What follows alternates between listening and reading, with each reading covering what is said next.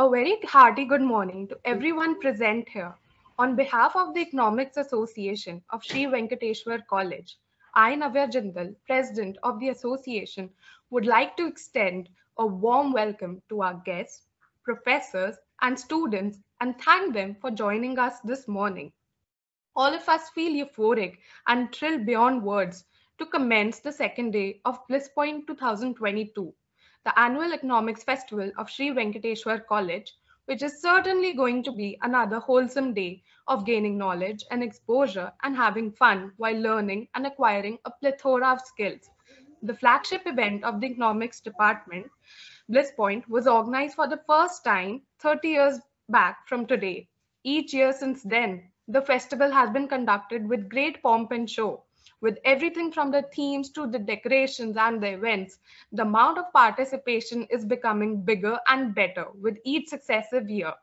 Blisspoint unequivocally stands out to be the pride of the economics department of Sri Venkateshwar College and over the years has evolved into one of the most reputed and expansive economics festival in the whole of Delhi University we feel extremely proud and privileged of the fact that even a deadly pandemic, which forced the world to shut down and shook everything around us, couldn't stop us from carrying our legacy and our pride forward and coming up with the 30th volume of our, of our annual festival, Blisspoint 22. I would now like to invite Naman Kapoor, Vice President of the Association, to talk about our theme for this year. Thank you, Navya as so many things have changed around the world because of COVID-19 pandemic, many new ways of working and living emerged. With shops closed and the world shut down, we have all moved online. From ordering groceries on Instamart to taking college lectures on Zoom, Google Meet, Classroom, etc. And doctors having taken to teleconsulting, our lives have changed dramatically. The new emerging economy is digitized, connected, and personalized. However, key decisions in terms of taxation, pricing, and the disruption of industries due to automation are yet to be taken. We also need to prepare uh, for blockchain technology and AI, but it is clearer by the day that a digital economy can facilitate broad-based growth and increase productivity for all businesses. Hence, the theme for this year is Digital Economics, a New Era. Now, I would like to invite my co-vice president, Ridhima Ahluwalia, to take it from here.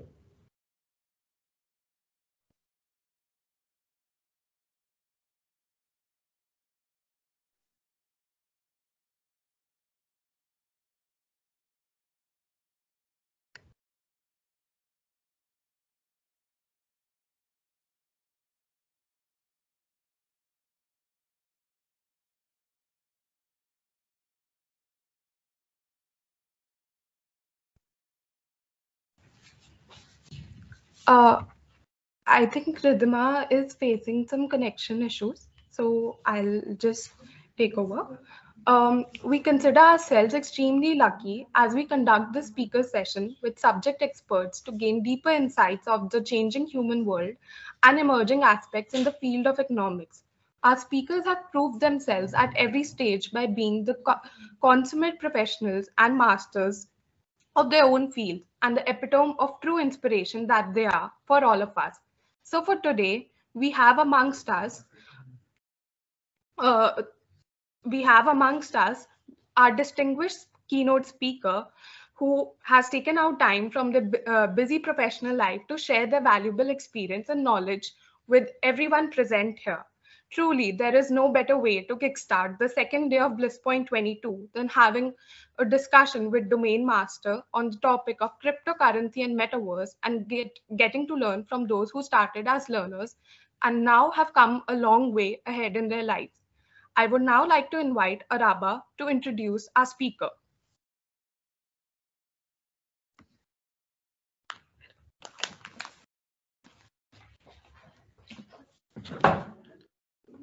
Uh,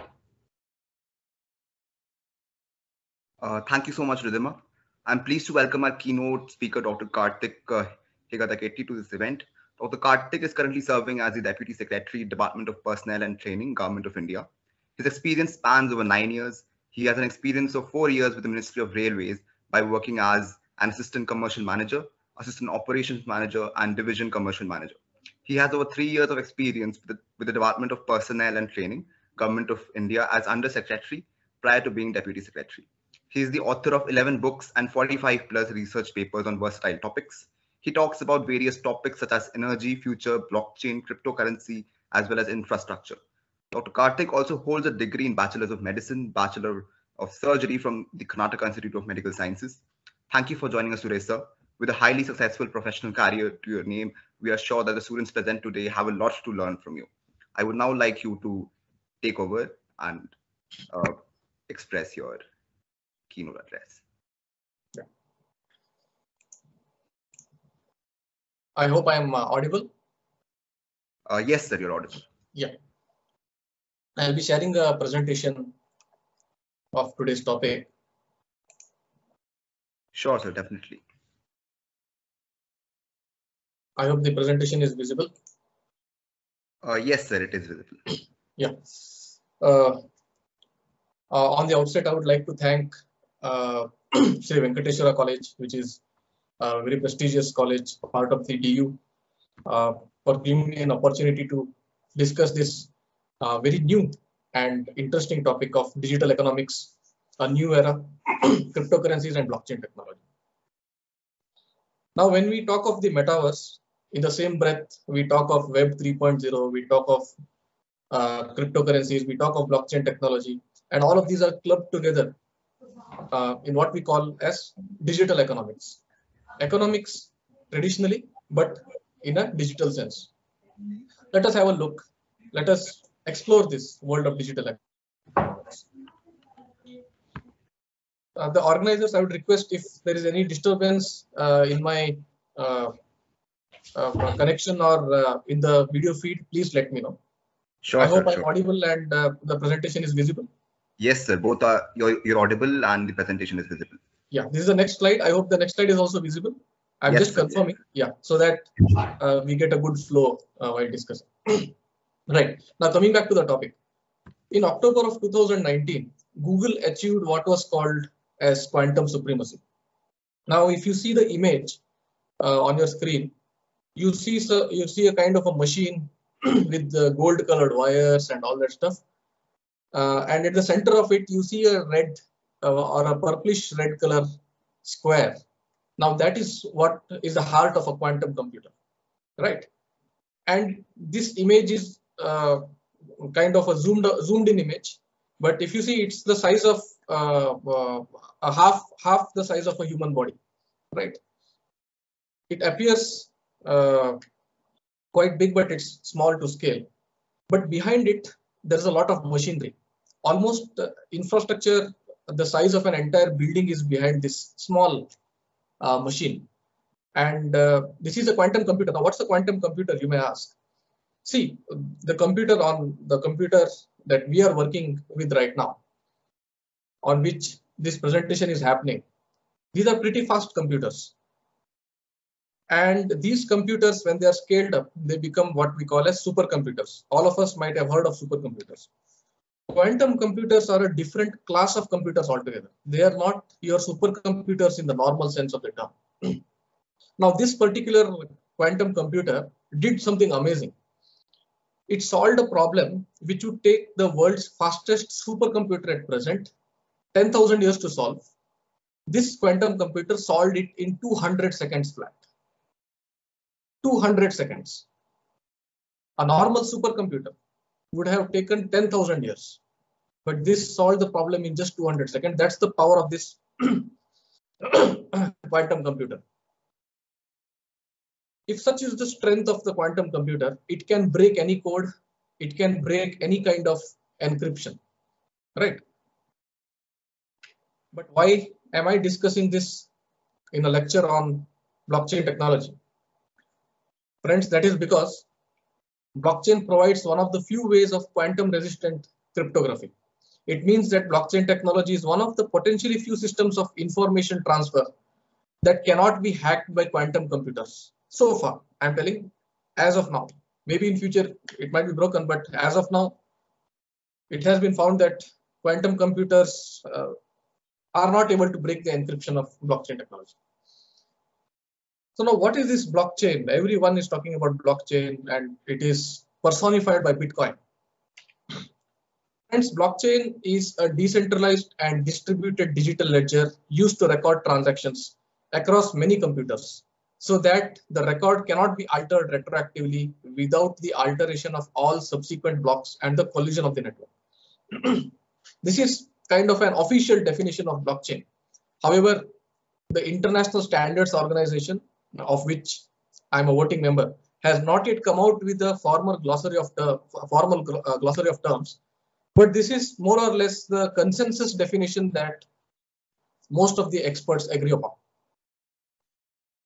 Uh, put simply, let me give you a very simple example. Instead of keeping all your data in one place, you are distributing that data in encrypted form across thousands of machines.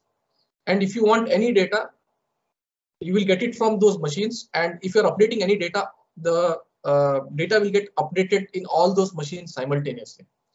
Okay, now this is a very revolutionary uh, method of working where if a hacker wants to hack into the network, he has to hack into all those machines at the same time because all these machines are talking to each other.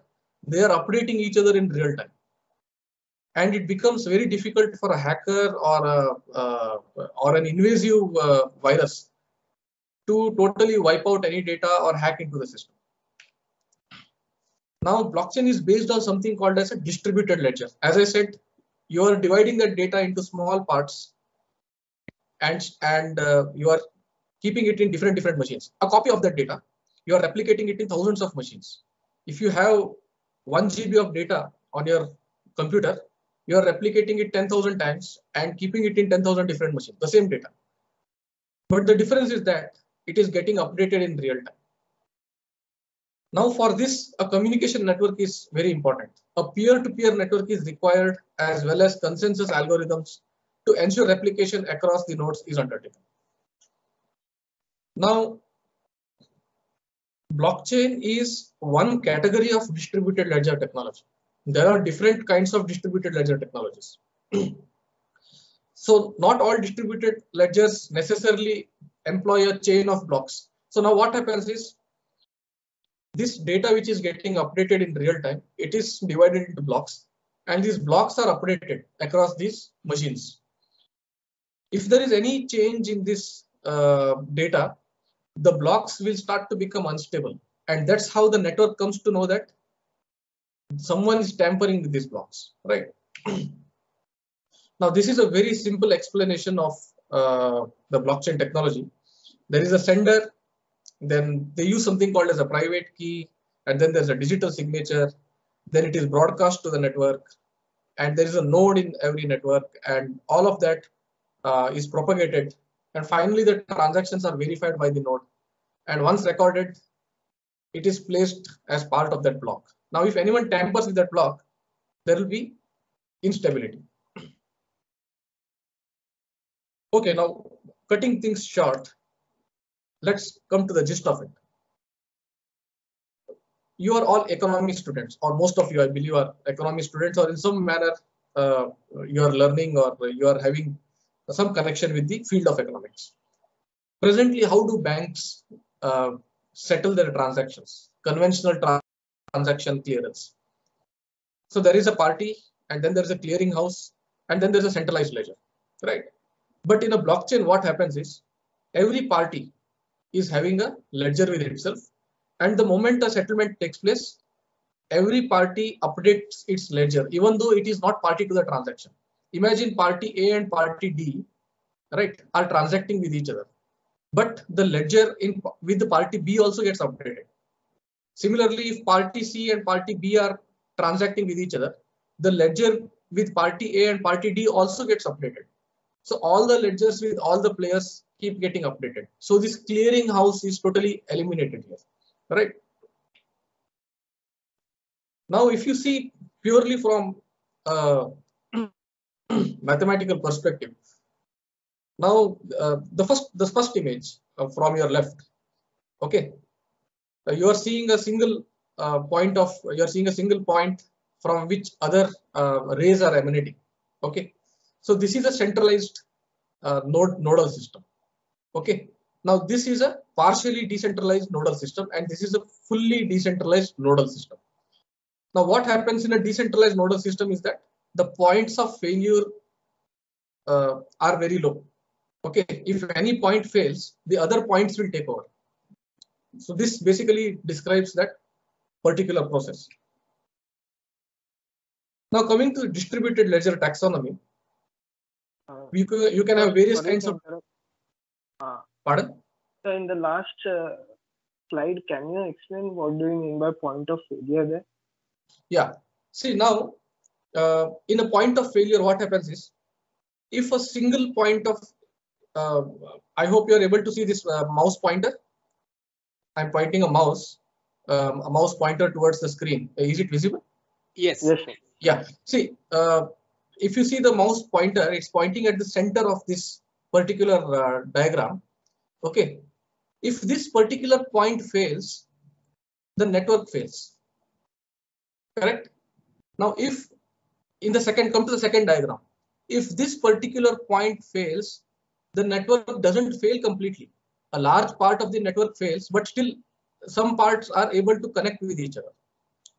Now, in the third diagram, you uh, if this particular point fails, nothing happens to the network because uh, the information transfer is routed through different different channels. Now, if now you have to take a large number of nodes away from the network in case of the net for the network to fail. Now, this last diagram is the actual description of a purely distributed ledger, right? This is a perfect distributed ledger where you have to take off more than 50% of the network for the network to fail. So if there are 10,000 points in the network, 10,000 machines in the network, okay, the hacker has to attack a, so uh, such a large number of points, such a large number of machines, that it becomes very difficult for him to marshal the resources to conduct that attack. That's why blockchain, that's why distributed ledger in the form of blockchain provides a very big hurdle uh, to the hackers to completely hack into the network and destroy the network. The moment the hacker goes away from these points, these points again update back whatever was there in the original network. So that's why this is a very stable uh, kind of configuration and you can scale it to the maximum population possible. There are 7 billion humans on earth. There it's possible for uh, it's possible to have more than 7 billion machines. So you can the, the scalability is infinite. And ease of development there is an upfront cost for the machine but after that the network maintains itself. And evolution or diversity is tremendous. If there is any update in any network and if the rest of the network agrees to it so then the network can uh, update itself. So it's a purely democratic form of uh, networking. So this is what i meant to say that points of failure are very difficult uh, to find in a distributed ledger but it's very easy to find in a centralized ledger. You attack the head and the whole body is gone, right? But this distributed ledger is like an amoeba. You don't know where the head is. Now coming Okay, to distributed, yeah, yeah. Now coming to distributed ledger taxonomy. How many copies of the ledger are there? Now there are different kinds of distributed ledgers. You can have a trusted ledger. You can have a permissioned ledger. You can have a blockchain uh, uh, based uh, distributed ledger. So there are different kinds of ledgers. Now this is the distributed ledger taxonomy. A traditional ledger has a centralized uh, ledger like a bank or an accountant. Okay, then uh, you can have a group, uh, a, a permissioned ledger, a private shared ledger. Uh, uh, nowadays banks are having this what we call as bank chain. Your core banking system. Uh, when when Indian banks first came up with this core banking system, it was basically a private shared ledger between these banks. Okay, they may be government banks, but for all practical purposes, it was between those banks only, uh, private and public. Uh, it's not like private and uh, government. It's the difference is private and public. So this was not public. Core banking system settlement used to happen over a bank chain, but it was over a centralized network. Then there is a trusted ledger owner or actors by validation that is permissioned public shared ledger. you have different kinds of ledger. For example, Ripple, there is a there is a coin also called XRP. It is basically a trusted ledger. And unpermissioned ledger like Bitcoin or Ethereum. Now, certain uh, side chains in Ethereum are shared. Uh, we'll come to that later. But uh, for all practical purposes, Bitcoin, uh, which is a personification of cryptocurrency, it's an unpermissioned ledger. So anyone can see all the transactions that are happening on Bitcoin. But the only difference is that you don't know the identity of the person conducting the transaction.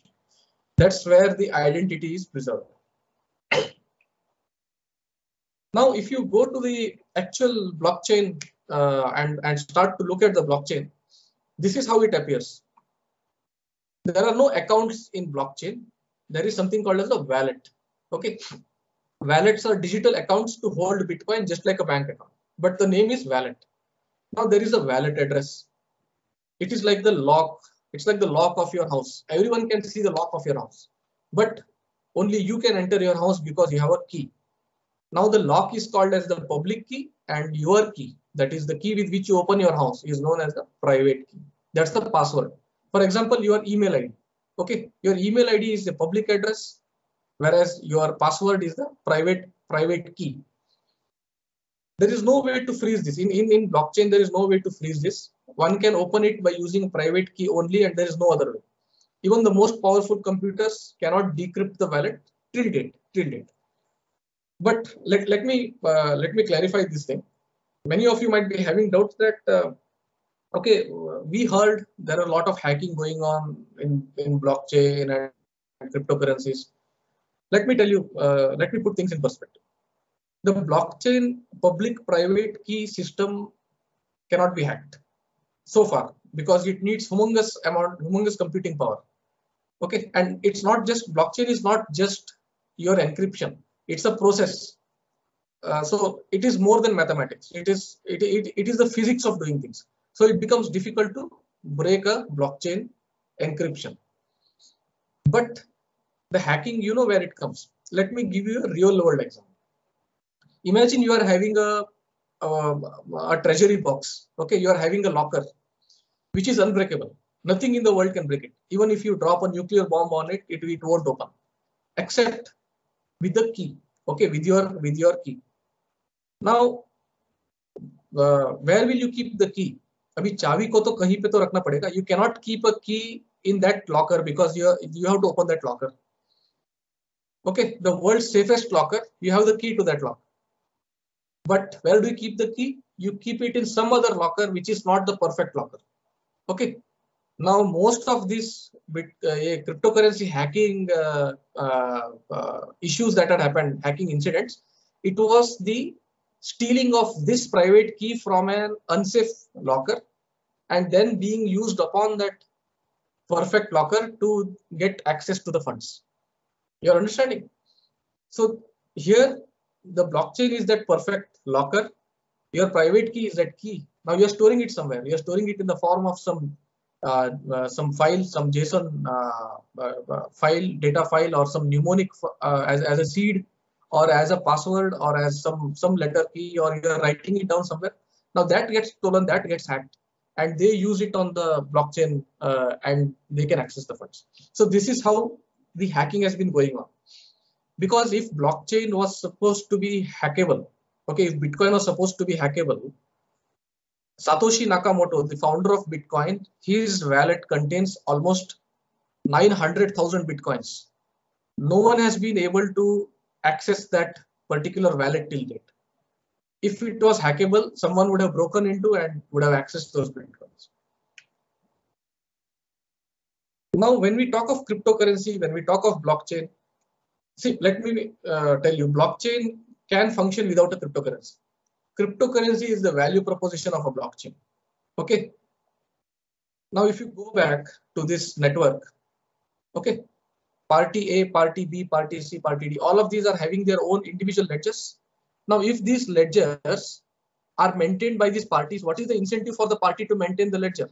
tomorrow party B may talk to party A and do some uh, hanky panky in the ledger. And the result may be that party C and party D might have to lose some money, correct? So how they can trust them? Cryptocurrencies are generated to incentivize the holding of these ledgers. That's why cryptocurrencies are generated. So when this network, uh, these when, when you're holding those ledgers with you, there is a process called mining.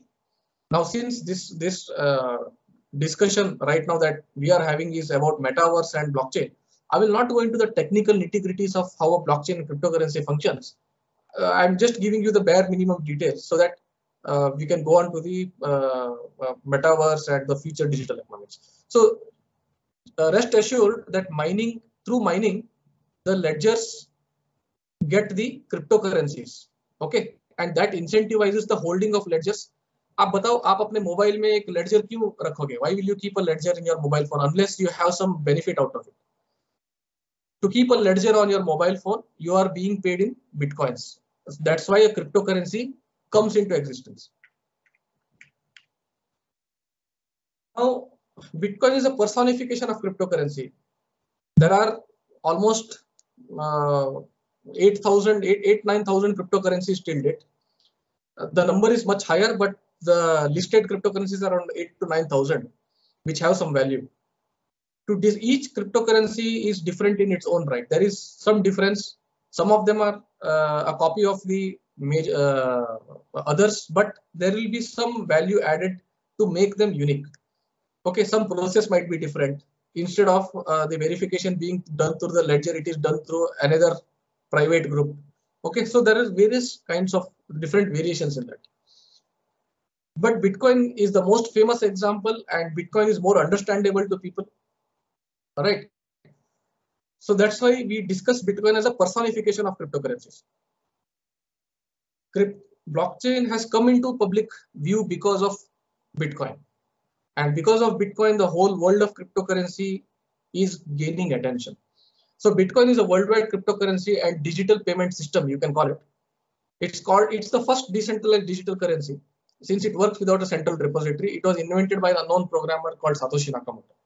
So the unit of a Bitcoin is called, the unit of account of the uh, Bitcoin system is a Bitcoin.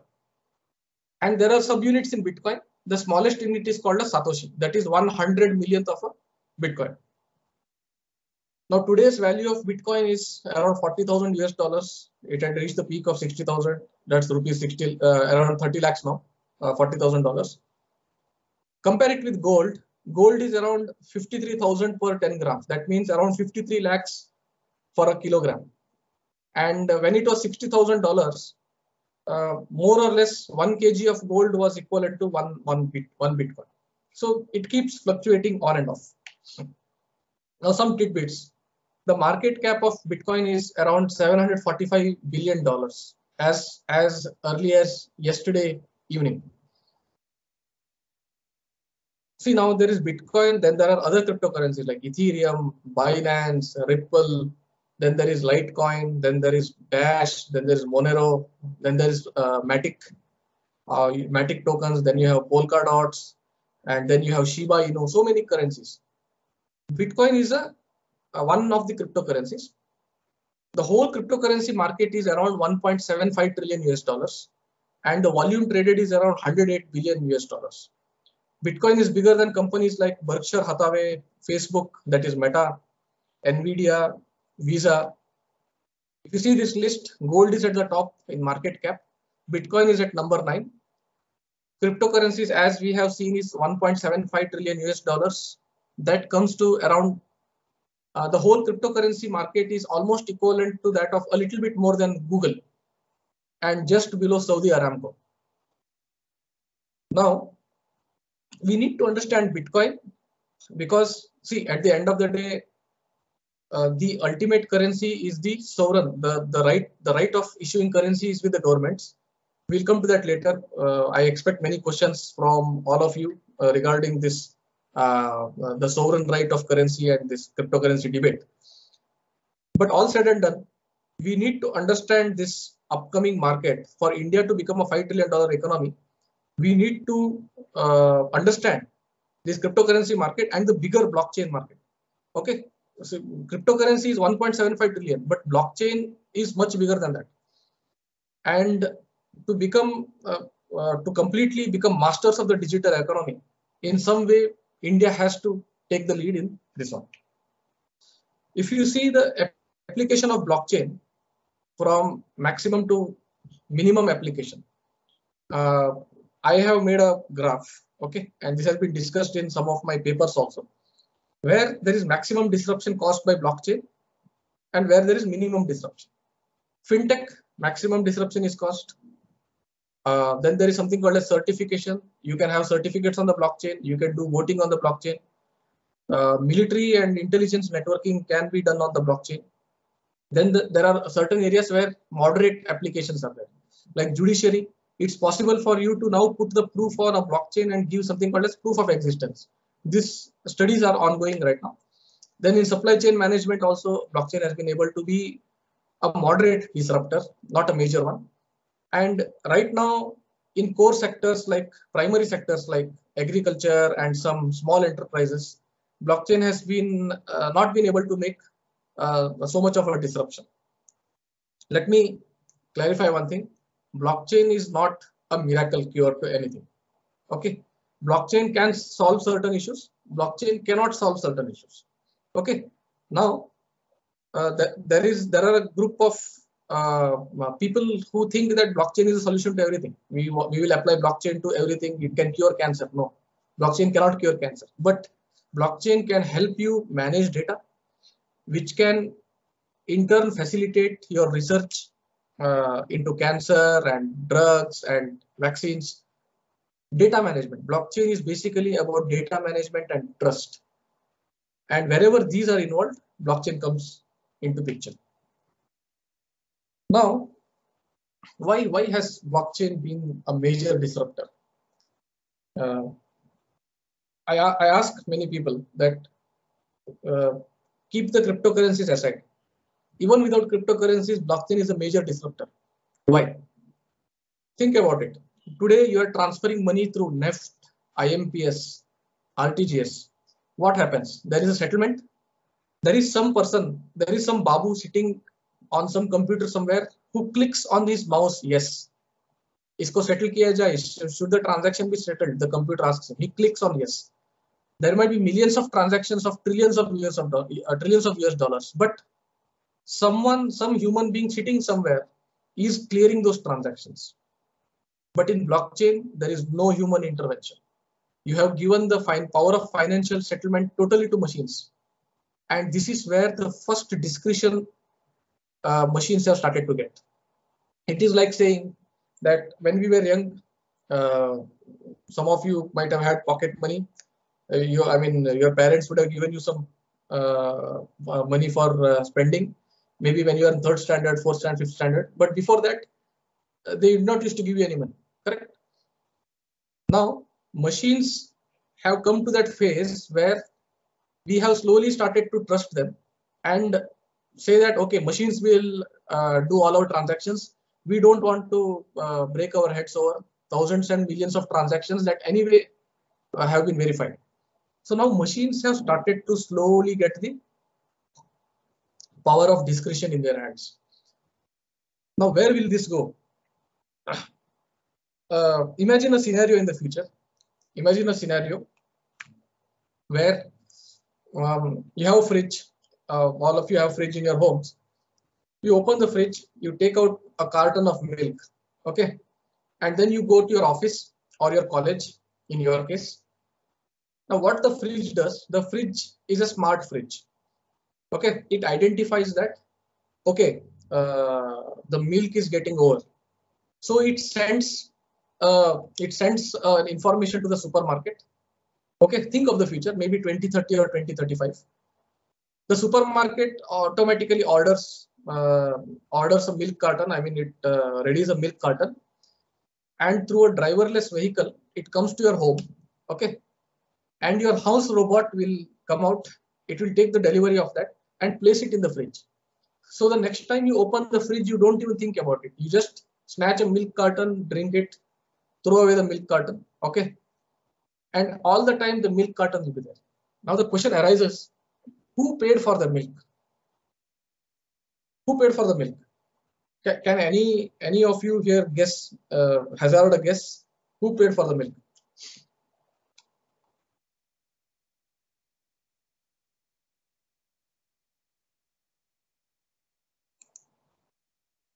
Any one of you can take a guess.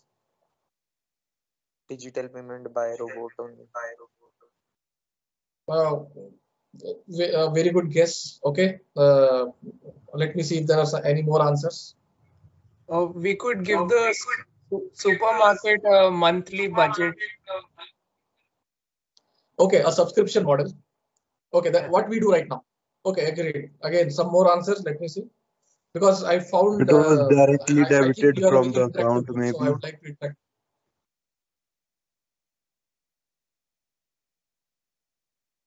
Okay, uh, right. We have two very good attempts. Uh, one of our friends here said that the robot will pay. Uh, another said that uh, it was the subscription model. Let me tell you, friends, the fridge paid itself, paid for the milk itself. How? The fridge was mining cryptocurrencies, okay, all the time that it was sitting there and cooling your milk. It was also mining cryptocurrencies. It was also mining some bitcoins. And over the course of so many days, what bitcoin it had uh, gained, it had invested it into the cryptocurrency market or in the stock market. Okay, it had run various algorithms. Okay, increased its profit, earned a profit for you, the master. Okay, and then paid off your bills, all your bills, your electricity bills, your milk carton bill, or whatever bill was possible with that money by your fridge itself. So this is the phase of future to come. This welcome to the metaverse. This is a concept called smart mining. This has been dealt with extensively uh, in my work also in my research paper and also by many independent researchers across the world. Imagine it's the year 2030, just as I described. We have uh, uh, our uh, the persona the persona of uh, uh, of our person here. Uh, Leela is going out to the supermarket to buy groceries. Unlike during her mother's time, Leela is not doing it out of compulsion. Leela is doing it because she wants to go out for a stroll. Her groceries were already bought yesterday, but still she is going to the supermarket. Her refrigerator, in collaboration with the kitchen shelf and the smart Tupperware, ordered and stocked up on the gro- grocery items.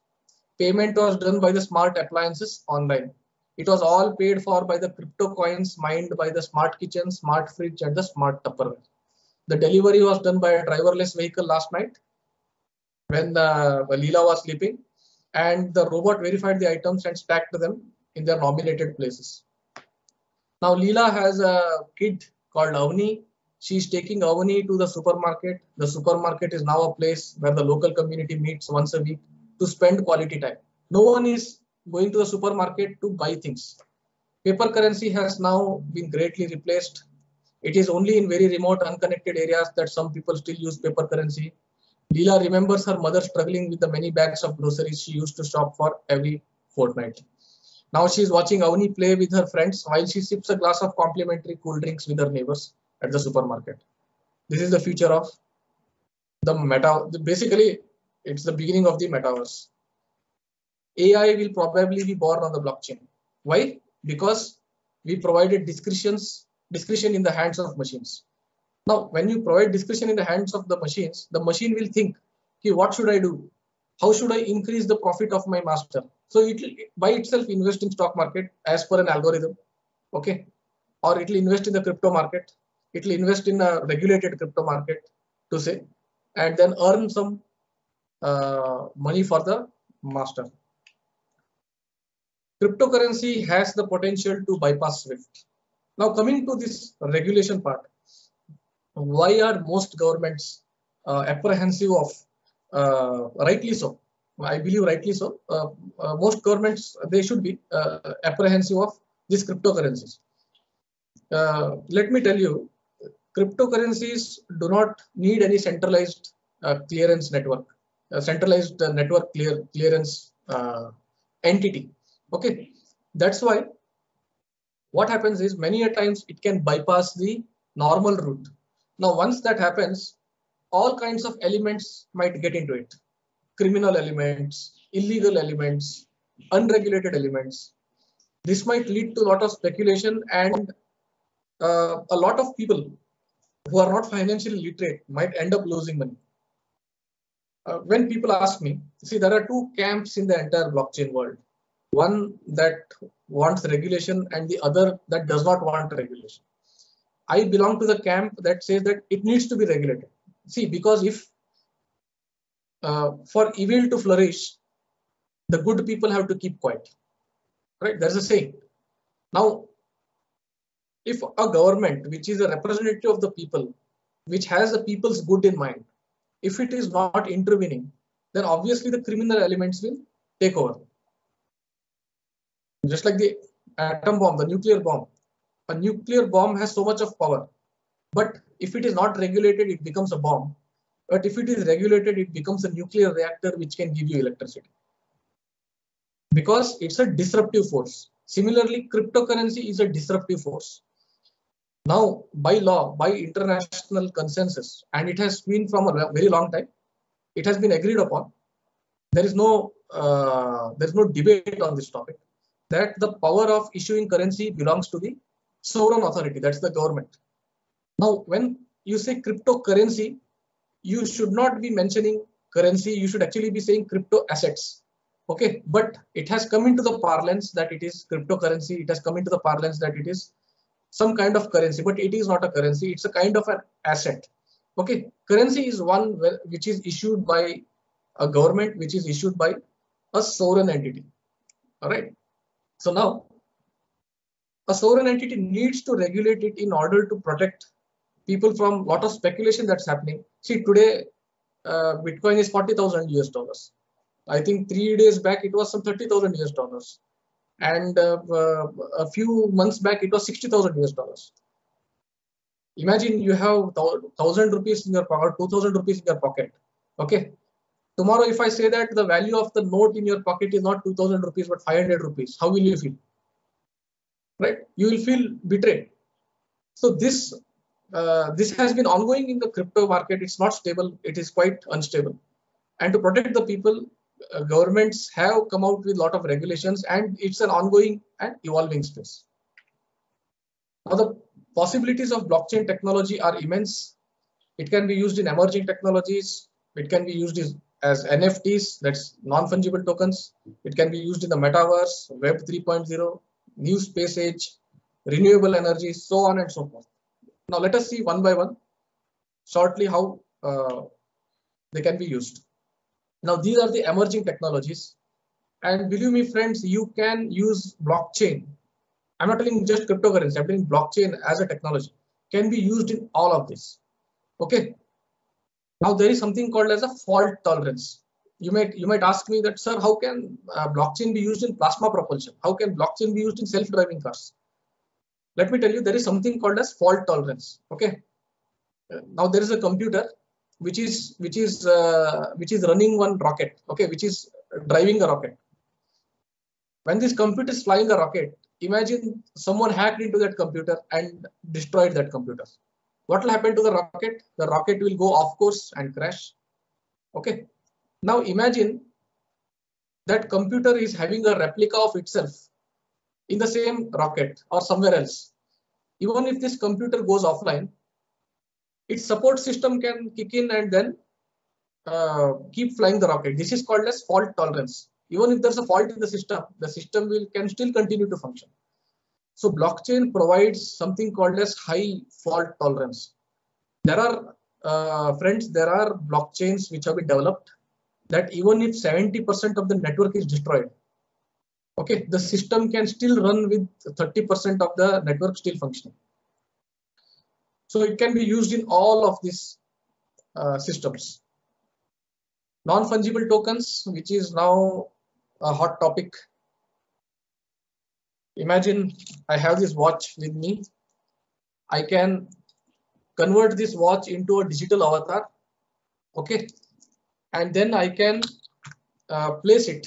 I can put that watch for on rent okay or on sale on the blockchain and someone can buy it and it cannot be duplicated or copied because it is on the blockchain that is exactly what is an nft when i convert it into a blockchain avatar when i convert this uh, watch into a blockchain avatar, it becomes a non-fungible token. You can do that to anything, a painting, a process, even your own LinkedIn profile can be converted into an NFT. Your Facebook profile can be converted into an NFT.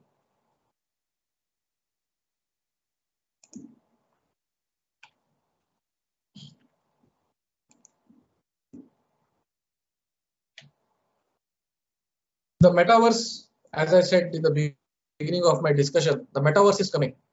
Or in, in simple terms, the matrix is here the future is not far away, friends, when uh, you will be wearing uh, a VR goggle like this girl here, and you will be attending your classes. You will be going to party with your friends.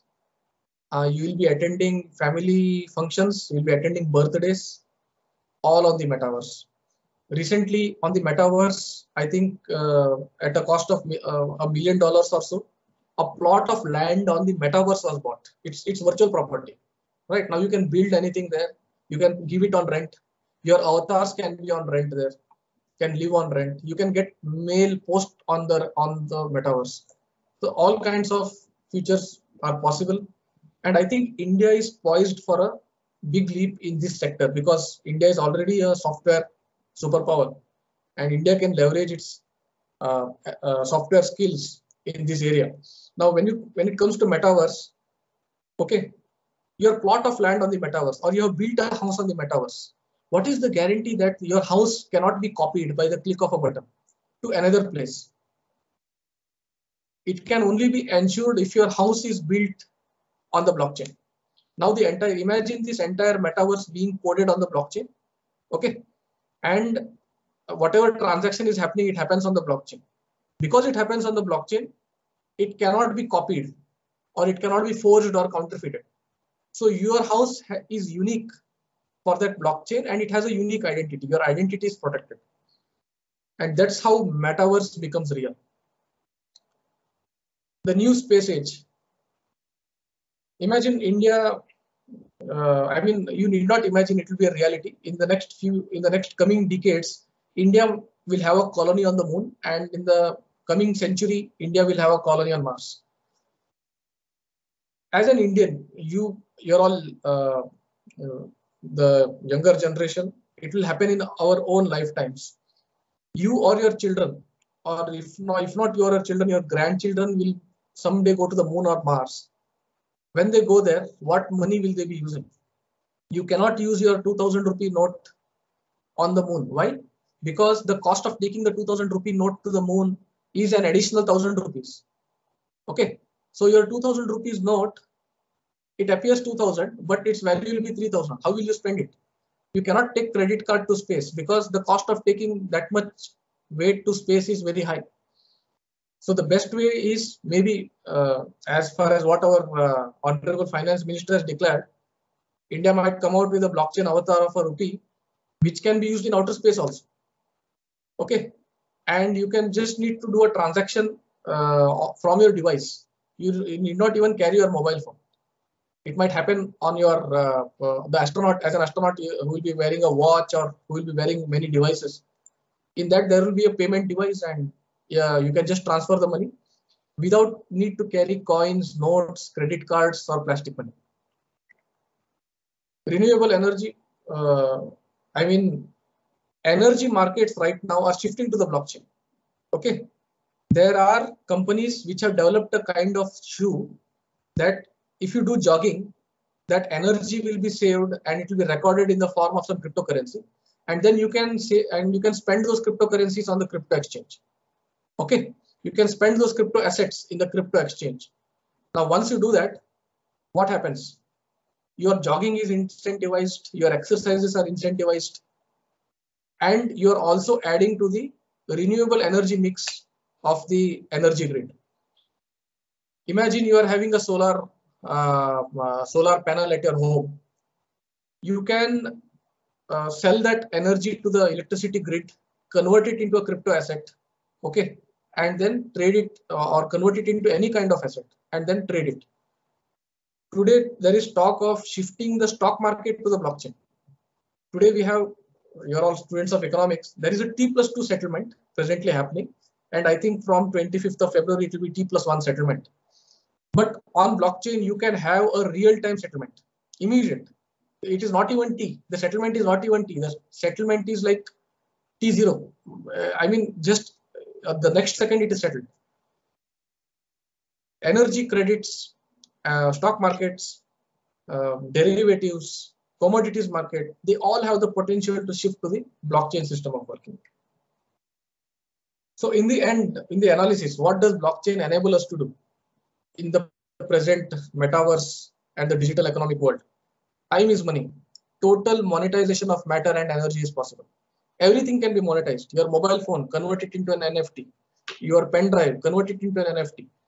Your, your profile, you convert it into NFT and you can trade it on the stock market. You can trade it on the crypto exchange. All sorts of possibilities are uh, probable or even possible. So you can add value. I mean, uh, you have an idea. You bring that idea to the real world and money will follow. That is what digital economics allows you to do. So remember friends, at the end of the day, digital economics does not mean that uh, uh, I mean money has to be earned in a certain way.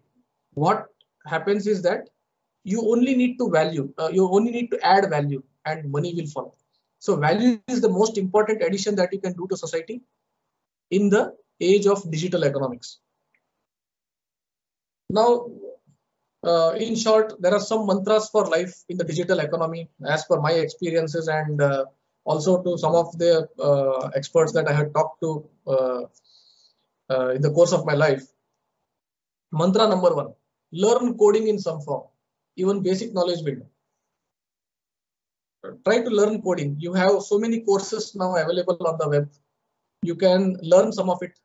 Uh, be an expert in any kind of coding or even uh, any kind of application. For example, Adobe Photoshop also if you're expert in that, you can add value in a in, in a big manner. Second, take time off. All of you are right now in your learning phase. Once your learning phase is over, you need to come into the employment market or you need to create employment. Many of you will go on to create startups. Many of you will go on to head the big companies. So before you do that, okay, or even when you do that, take some time off.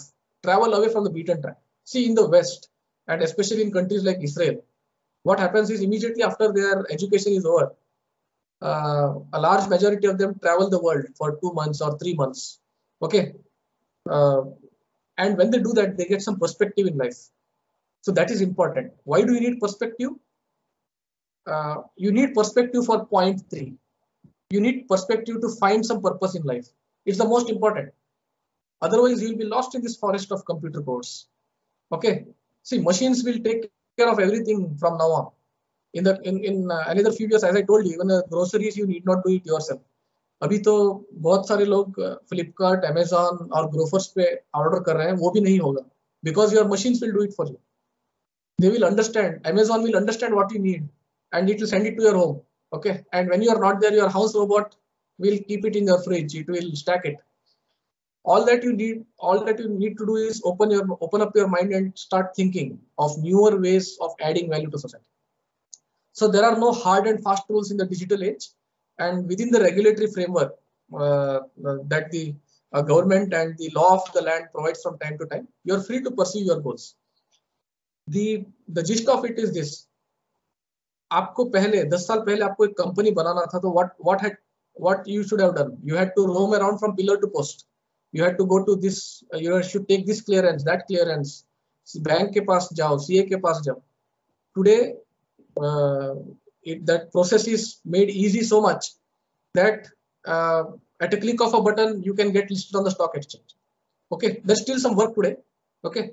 In the next coming uh, coming years you need not even leave your office. You need not even leave your home. You can create your own company and you can uh, run it from i mean you can run it from your the comforts of your home.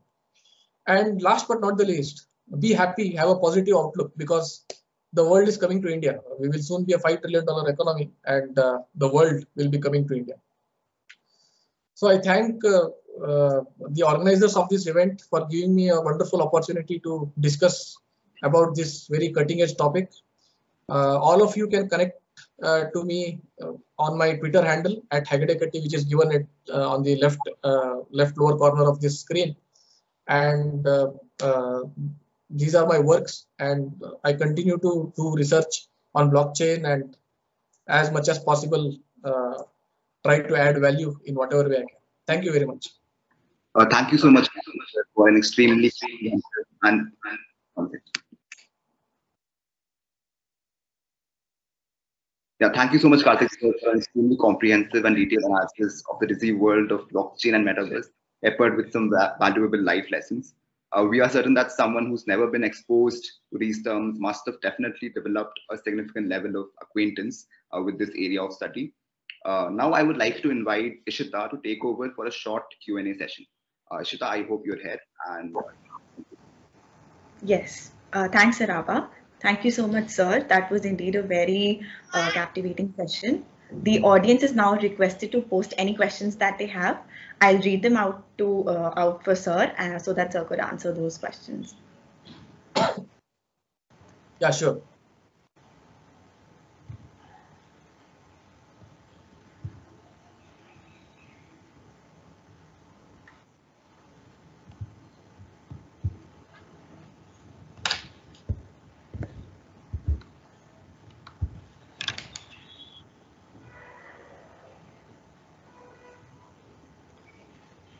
It seems uh, they are taking time to ask a question, so I would take the opportunity to uh, pose one uh, query.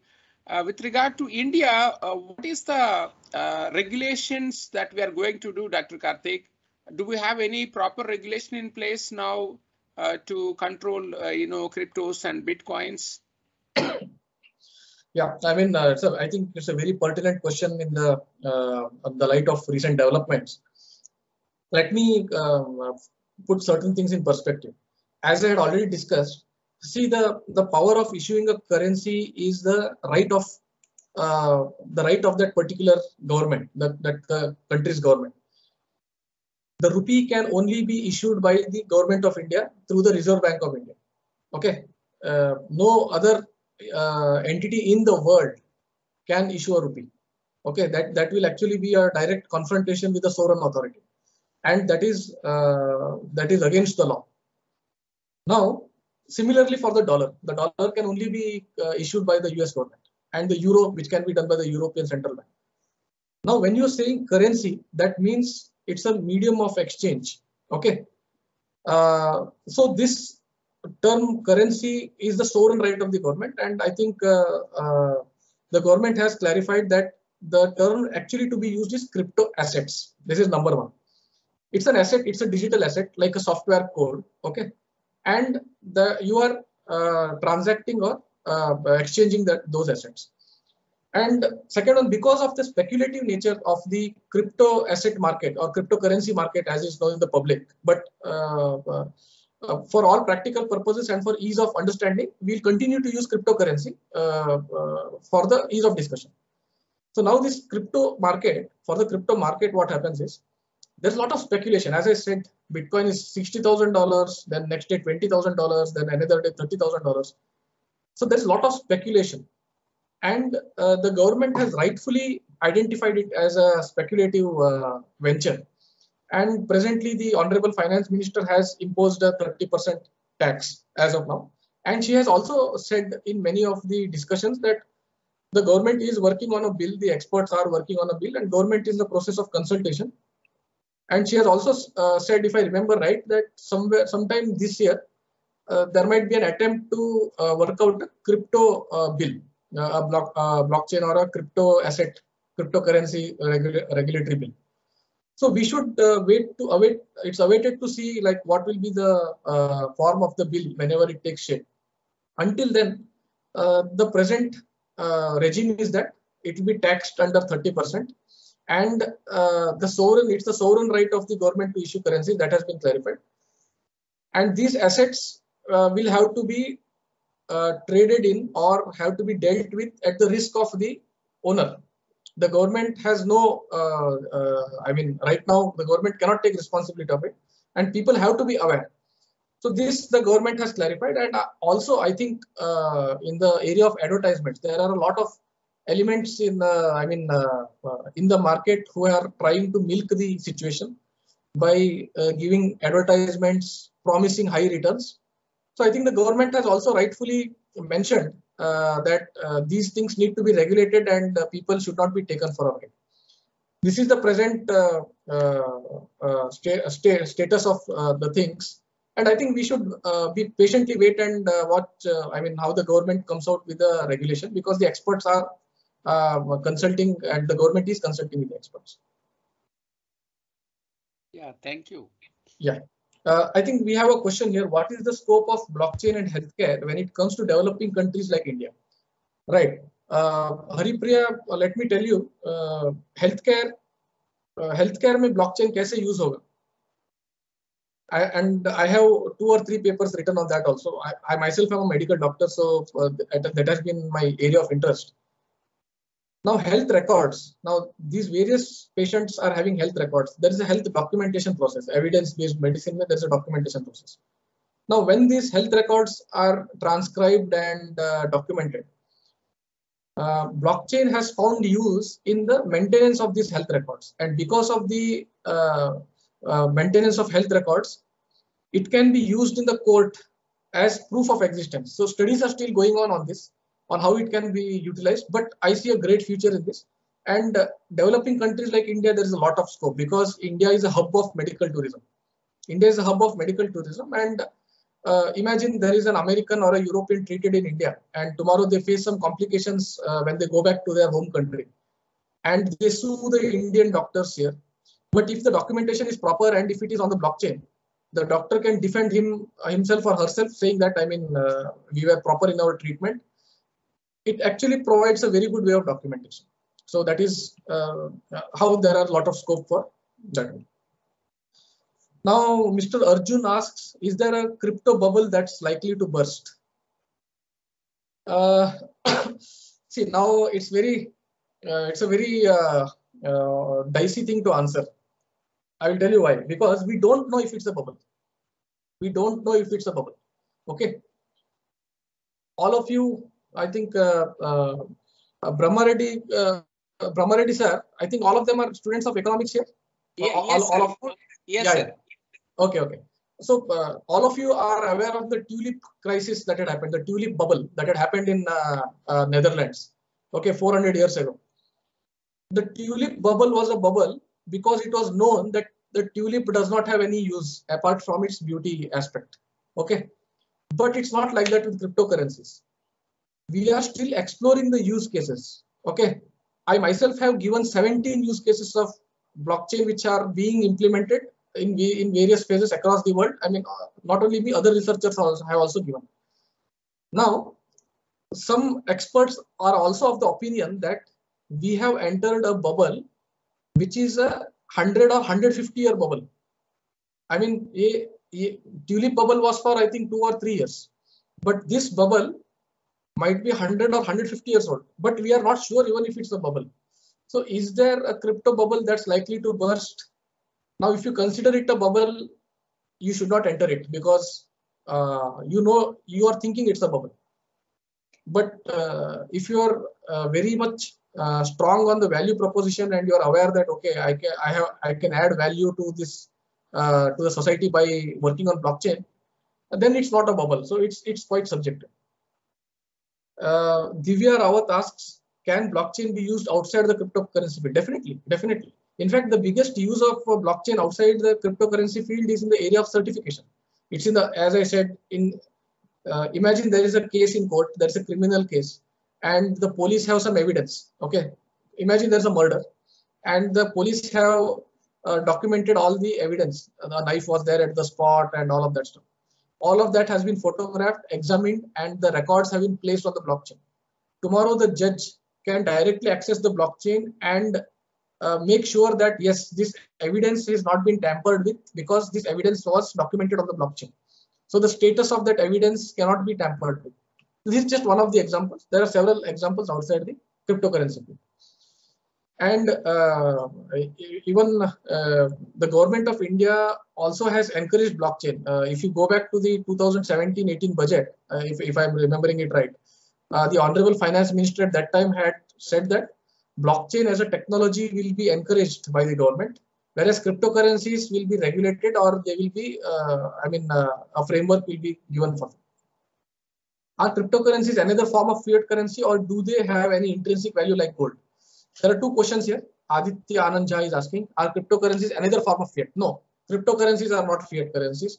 Fiat currencies are only uh, given issued by the government of that particular country. Or do they have any intrinsic value? Again, I ask you, you're a student of economics. What is the definition of intrinsic value? Okay.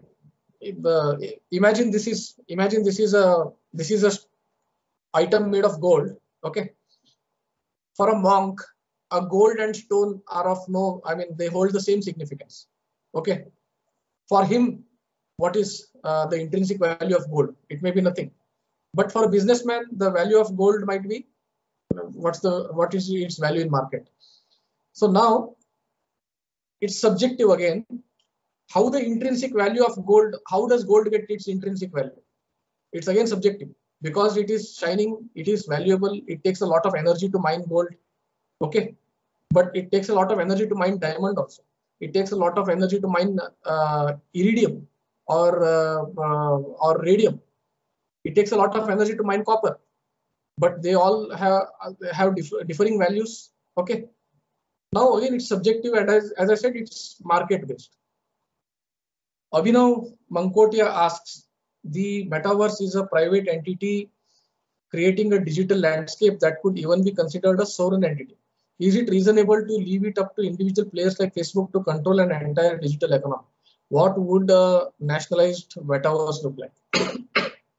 a very, very insightful question, I must say, you know, uh, uh, very insightful. Okay. Metaverse is private. What Abhinav says is metaverse is private. But is it possible that metaverse may itself become a separate country in its own right?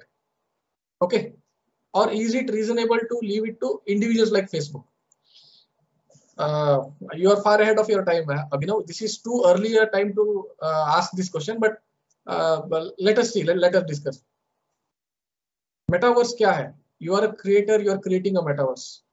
Okay. A bigger entity creates a digital world like the Matrix. Okay. Now, is that metaverse a country in its own right? Tomorrow, that means if it's a country, uh, it can also wage wars. It can also issue its own currency. It can also tax its citizens. It can also uh, do everything that a government does. Uh, this will have to be sorted out by the global community maybe at the United Nations level or at a at a at a supranational level. Uh, this is a really uh, uh, a topic of debate, and uh, the answer to this is not as simple as it appears. And in the light of this, in the light of this, we cannot allow mono companies to have a monopoly on the metaverse. It's very clear. It's very clear because people's livelihoods might be affected. Tomorrow there might be people who might be working on the metaverse you are wearing a VR set going to work on the metaverse. And if your rights there are affected, will they be the same thing as the rights affected in the uh, uh, real world? So all of these are points of debate, and I think uh, uh the university and the college can actually add a lot of value to this debate, taking it further. This is a good area of research, Abhinav, and I think you should take it up. Alok Kumar Kanodia asks, how does the price of cryptocurrency is determined? Is determined by the market. Presently, there are crypto exchanges and uh, there is a buy and sell table just like in the stock market there is for equity you have. Uh, and the prices are uh, based uh, or they are discussed uh, i mean they are uh, traded on that front. And the prices are arrived at. Is individual raghav puri asks is individual like elon musk influence over cryptocurrency is a problem doesn't it make more volatile and more risk prone? Should an average investor invest in the cryptocurrency? Is the government right to impose 30% tax on crypto? Okay. He asks, are individuals like Elon Musk over cryptocurrency a problem? That is the problem of cryptocurrencies. That is not the problem of individuals. See, if the value of something can fluctuate before because of some person giving a statement, that means it's not stable enough. People still have confusion in their minds regarding that particular asset. So on this front, that's why the government is regulating it. And the government has taken a view that uh, uh, it's a speculative uh, venture, uh, rightly so, I think rightly so. And uh, to protect the interest of the people and also to stop this speculation, people from losing their hard-earned savings, that's a deterrent. And also, if you are making insane profits out of it, uh, the society should have a share of it, just like in any other speculative venture and uh, that's why the government has imposed a 30% tax. So, I mean, the organizers may please uh, let me know if there is that if the time has been overshot or uh, I mean, if, if there is time for the uh, discussion or uh, I mean, uh, I hope we are not overshot the time. Ishita? no, sir, it's perfectly fine. So there's a, there is a last question in the chat box. If you could answer Yeah. that. Yes, yes. So Antariksh Sandipan asks, is it an asset or a currency or is it a security as some consider it one?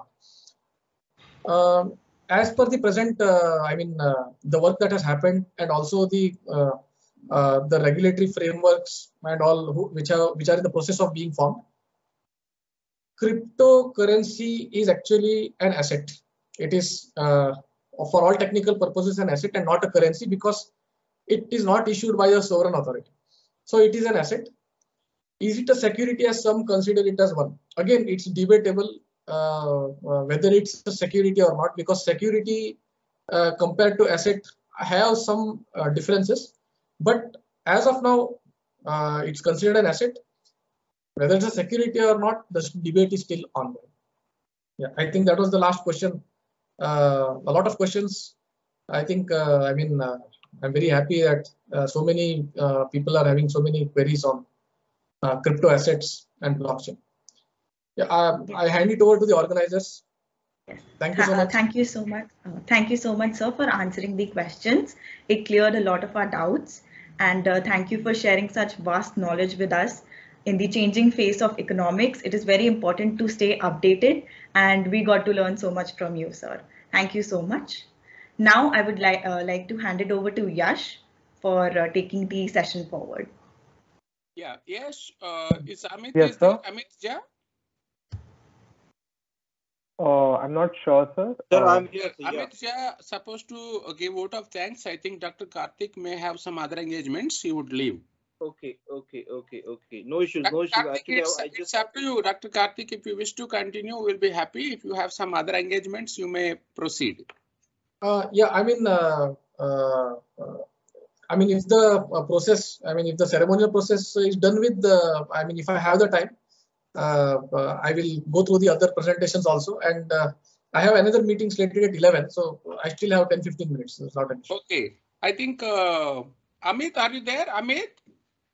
yeah, yeah, I'm here, sir. Yeah. Yeah, yeah. You can uh, propose vote of thanks for this, uh, you know, keynote, uh, you know, address. Uh, okay, uh, so uh, absolutely, uh, it's an honor to propose the vote of thanks uh, on behalf of Department of uh, Economics as well as the Economic Association of Sri Venkateswara College today on the second day of uh, festival called Blisspoint. I would like to thank our keynote speaker, Mr. Kartik, who, despite his busy schedule, found time to grace this occasion. Uh, sir, we learned a lot. Uh, even I'm new to this blockchain technology and cryptocurrency. Probably, uh, I hope that the students as well as the teaching fraternity have learned a lot from you, as well as the question answers round was quite interesting. Uh, sir, it's an absolute uh, honor to have you here. sir. thanks, thanks a lot, sir, for coming. The pleasure is mine. Yeah, thank Yeah. you very much, Dr. Kartik. Uh, as I have shared with uh, some of you about Dr. Kartik, presently he is uh, involved in a mission mode project on human resource management at the level of Government of India. You find something very interesting about him. He is, uh, you know, a medical doctor by qualification and a civil servant by, you know, his uh, uh, choice or, you know, his profession. and he works extensively on blockchain technology. So it's a, I would say, versatile, you know, personality. And uh, I had the first opportunity to meet him at ISTM, uh, I think in 2018-19. Then he mentioned that, you know, he's working uh, on blockchain technology. And I was able to recall my conversation with him. And uh, the theme of the festival is such that we wanted a person like you, Dr. Kartik, and I am so happy to see you, uh, you know, in your uh, full swing. Uh, in 45 minute time, you know, you have uh, given us, uh, you know, the from basics to that of uh, the future of this bitcoins and blockchain technology. As you know, our students, some of them are from science background, so they would have understood better than you know others because it's all about you know technology and specific to the computers technology and we wish that uh, you know as and when you find time uh, you would be able to spend uh, you know uh, with our students your valuable time uh, to, give them some direction and uh, you know mentoring thank you very much on behalf of the management of the SV College and the Economics Association. I express my sincere gratitude for taking you know very valuable time of yours out and give it to us. Thank you so much. Thank you. Thank you so much. Uh, I thank uh, the college uh, faculty and the organizers for giving me this wonderful opportunity. Thank you. Thank you, sir. Yes, proceed with the other speaker. Oh, okay. Thank you, sir. So moving on, we are delighted to receive Mr. Siddharth Dalmia. Mr. Dalmia is the founder of a stealth startup which provides decentralized digital asset management as a service he completed his education from the prestigious Dhirubhai Ambani Institute of Information and Communication Technology and then went on to pursue a law degree from OP Jindal Global University. He specializes in blockchain technology and is also the founder of Wealthy, well, sorry, Wealthile. I'm, uh, I'm sorry for the error. Wealthile, a consent management company. Previously, he uh, he worked as a law associate in a in transactions at the uh, in this law firm, established multiple companies, and has also cleared the CFA Level Two exam. We welcome you, sir. Thank you for joining us today, and I'm sure our students are eager to hear about your amazing journey. Hey, uh, so first of all, am I visible to everyone? Uh, is my camera on or is it visible? Uh, I'm sorry, sir. I don't think camera is visible. There's a logo of a of a showing. Okay. Yeah, now it's visible. Yeah, it's visible now. Okay. Yeah. Hi, hi everyone. So, uh, yes, I have worked extensively on blockchain technology. I have been involved in this space since uh, 2015. Uh, I was a student like you when I made my first investment in Bitcoin.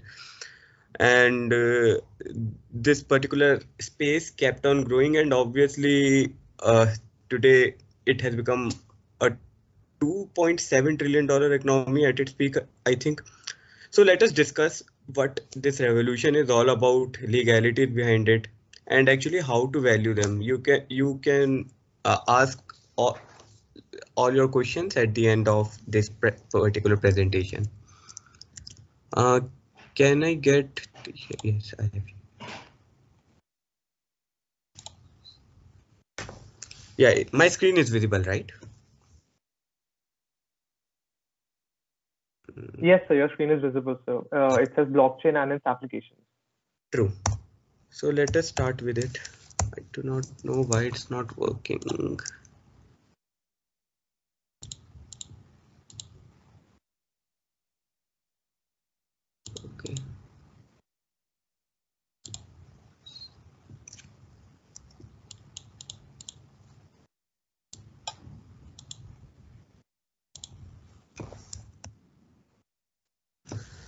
So what is the value of blockchain technology or all these digital assets that coming up uh, that we keep hearing about? It's the first time on the internet you can actually own things. Before that, they were owned through a domain, they were uh, owned by a company, they were owned by different people. But truly for the first time, we can own things like say Bitcoin that we talk about So Bitcoin is on blockchain. So what is blockchain? How do you uh, how do you explain what the blockchain is and why is it owned by the community? That is the main question. So Satoshi Nakamoto wrote several problems with the existing economic structure or uh, how it has evolved over the years. So he said that okay, sovereigns have the power to mint unlimited currencies or unlimited fiat. And this power should not be with the government, but with the people. And then he came up with his white paper on uh, Bitcoin that we have all heard about. Now, what exactly is Bitcoin? So how how what is the significance of Bitcoin? So it is just a piece of software uh, that you run on your computer earlier there was there like today it's also there are central authorities like banks or say amazon amazon or like e-commerce marketplace on or any other entity that you can think of. What is their main purpose? They maintain ledgers for us. So basically we pay bank their transaction fees etc to maintain those ledgers Satoshi Nakamoto comes and tells, okay, we do not need uh, need to do this. So anyone who runs a particular software, they can maintain the ledgers and they would be rewarded in Bitcoins. So suppose there are three people, X, Y, Z. So they start maintaining this ledger system. So how how so suppose X owes Y uh, two bitcoins, Y owes Z two bitcoins, and Z owes uh, X uh, one bitcoin. So basically, all these transactions have to be computed, compiled, and a ledger has to be maintained. The same way the bank uh, does to our account. Uh, this is how the money is transferred. So he wrote a code in such a way so that in every 10 minutes, in every in every 10 minutes there would be a block that would be created that would have the database of uh, all the transactions that took place and compute them. Okay so finally x x wallet owns say one bitcoin or uh, minus one bitcoin in this case and the bitcoin actually cannot go to negative but this is it is same as how uh, ledger.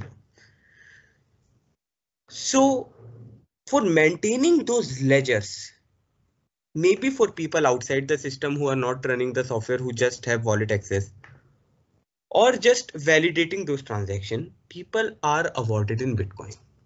So initially for and everyone. So how is this bitcoin awarded? Everyone is trying to solve a particular puzzle presented to their computer system. Every computer system connected to this particular network that is called node is trying to solve a puzzle. And this particular puzzle whoever whichever computer is successful is awarded in uh, in bitcoin. Every computer is maintaining those nodes those uh, ledgers and that is how they become part of this ecosystem and initially you used to be about awarded five, uh, 50 bitcoins. Then it got reduced to 25. Then it got reduced to 6.25. Then it got it will be reduced or it got reduced to 3.125 and so on and so forth. And that is why we say that bitcoins are limited. The reward for solving that puzzle would keep on decreasing and because now it is a geometric progression uh, puzzle so many of you being science and uh, economic student might understand what geometric progression is. So initially if something is 50 then 25 then 12.5 it's halving. That this event happens every four years. It is embedded in the software and this is called bitcoin halving that you might have heard about so that is why there can only be 21 million bitcoins as uh, as this if you solve this particular geometric progression. Now Satoshi Nakamoto also told that because these uh, these countries have like infinite power to uh, mint these uh, fiat currencies, there will be uh, inflationary issues there and like the government can restrict you for make for making any sort of purchases and that is what we are actually witnessing today. So let us break it down. Let us take the case study of canada for example. You might have heard about these uh, uh, these protests by uh, truck drivers in uh, canada. So but do you understand what they have done? The thing is they have freezed all the accounts who were participants to this particular uh, protest. Imagine this happening in India when farmer uh, protests were taking place and suddenly uh, our government comes in, intervenes and says that okay, whoever is uh, in those protests, they cannot access their uh, bank accounts anymore. It does not make sense, right? The second event that followed was uh, this like whoever donated to the cause they also got their bank account freeze does it make sense to you? Do you think that government should be telling me uh, whether i should uh, i should protest? And these were like peaceful protests whether I, I should protest or not or uh, where if i should donate to the cause or not and if they can freeze your bank accounts anytime now people are understanding the value of these crypto assets. That okay so if government can freeze them let us not accept crypto at all. This happened in turkey because of completely different reason uh, that we might discuss. But this is the power of bitcoin. This is the power of owning things on internet because no one can track these nodes who is running this so this particular software who is being rewarded in bitcoin. So there is uh, so this truly become decentralized uh, in a way so that governments cannot uh, totally regulate them totally ban them. And obviously governments hate it but still this is it internet gave a lot of power to people right and if we think uh, about uh, Nakamoto's vision, if people take away this power to mint currency and transact on internet only, then it takes away a lot of it gives a lot of power to the people, the common man like yourself and I, and it takes it takes a lot of power away from the government. Let us take the uh, example of El Salvador and maybe other uh, African and Latin American countries whose currency do not hold any value. In most of the cases, they kept printing their currency. So they so essentially maybe you own say one trillion XY units of XYZ currency, but you cannot even purchase a piece, uh, a, a loaf of bread from that. Imagine that people carrying bundles and bundles of money and they cannot do anything with it El Salvador came ahead and solved this issue. He said, okay, like uh, we do not trust US dollar, we do not trust any other uh, fiat currency. And so we make Bitcoin the legal tender. And this was like, this was envisaged by these Bitcoin enthusiasts and Nakamoto uh, way back in the past. So after like studying these case studies you must have learned about inflation like uh, okay so let me give you a very simple but significant example. Before 2020 covid crisis if us uh, economy had printed say 100 dollars in the economy. Suppose that there were only 100 dollars inside the economy. Today there are 140 dollars in the economy. That is 40 percent of the money in the whole human civilization in us that is used as the benchmark. Is printed in last two years. Try digesting that. What happens to the purchasing power of a common man? Rich becomes richer poor becomes poorer. And like it creates a lot of issues which uh, we might face in the future. We see uh, basic commodity prices rising, we see oil prices rising, and uh, we the thing is we never learn. Governments would keep on uh, like printing the money and they think that it is unlimited power but it is it is an invisible tax on your pockets it's basically 6% average in India. And this year, year on uh, the last uh, sorry, the last quarter year on year inflation for US was 7.5%, which is very, very unreasonable. So now that you are familiar with the basic concept of Bitcoin and uh, basics of the blockchain technology, the functioning that I described, how Bitcoin functions, it it is the blockchain technology.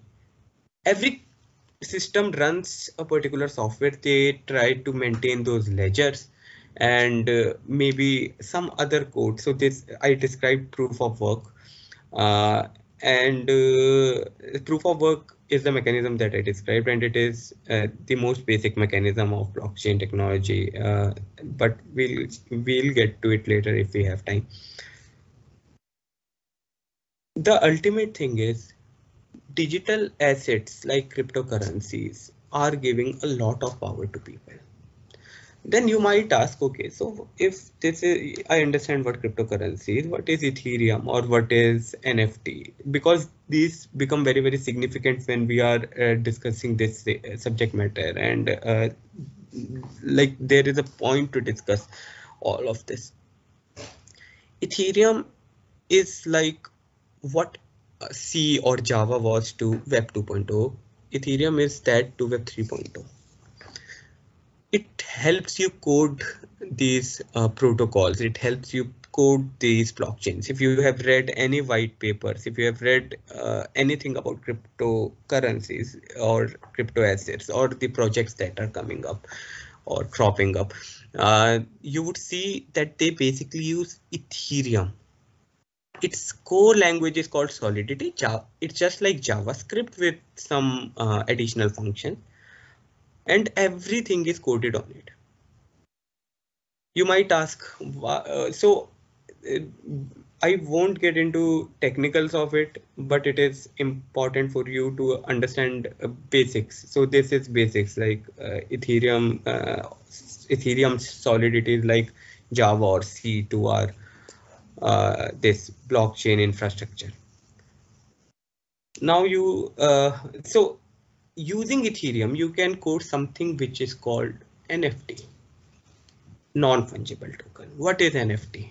NFT is basically, uh, it, it acts as a pointer. So imagine that, okay, so uh, there is, a, uh, so there is a piece of paper that you might own and it points to a certain address. Suppose uh, my home or a university classroom. Anywhere. It you that piece of paper is nft which is in a tokenized form. And this particular point pointer to the address is might be my home or your classroom. This piece of paper is an immutable proof that you own what is inside this particular uh, as in, in this particular location. This is nft basically it is a pointer to a particular location which uh, through blockchain you can confirm that whether uh, it has what it has. So this particular room uh, where i'm sitting might be considered um, like you might hold a piece of paper and you might actually own the own the contents essentially own the contents of this room. And you would see a lot of things. And because of blockchain this is verified what this particular room owns. And uh, nft token is the key to this particular room so it has two purposes. One, it's the proof of ownership. That's why it is the key. Second, it points to this particular room, actually where this particular room exists. So it happens on the internet. Basically, it points to a particular server and contents of those server are owned by essentially owned by the NFT owners. That's why you it, it using this particular uh, blockchain technology uh, using Ethereum for the first time in human history you are able to own assets on the internet. Think about the power of that.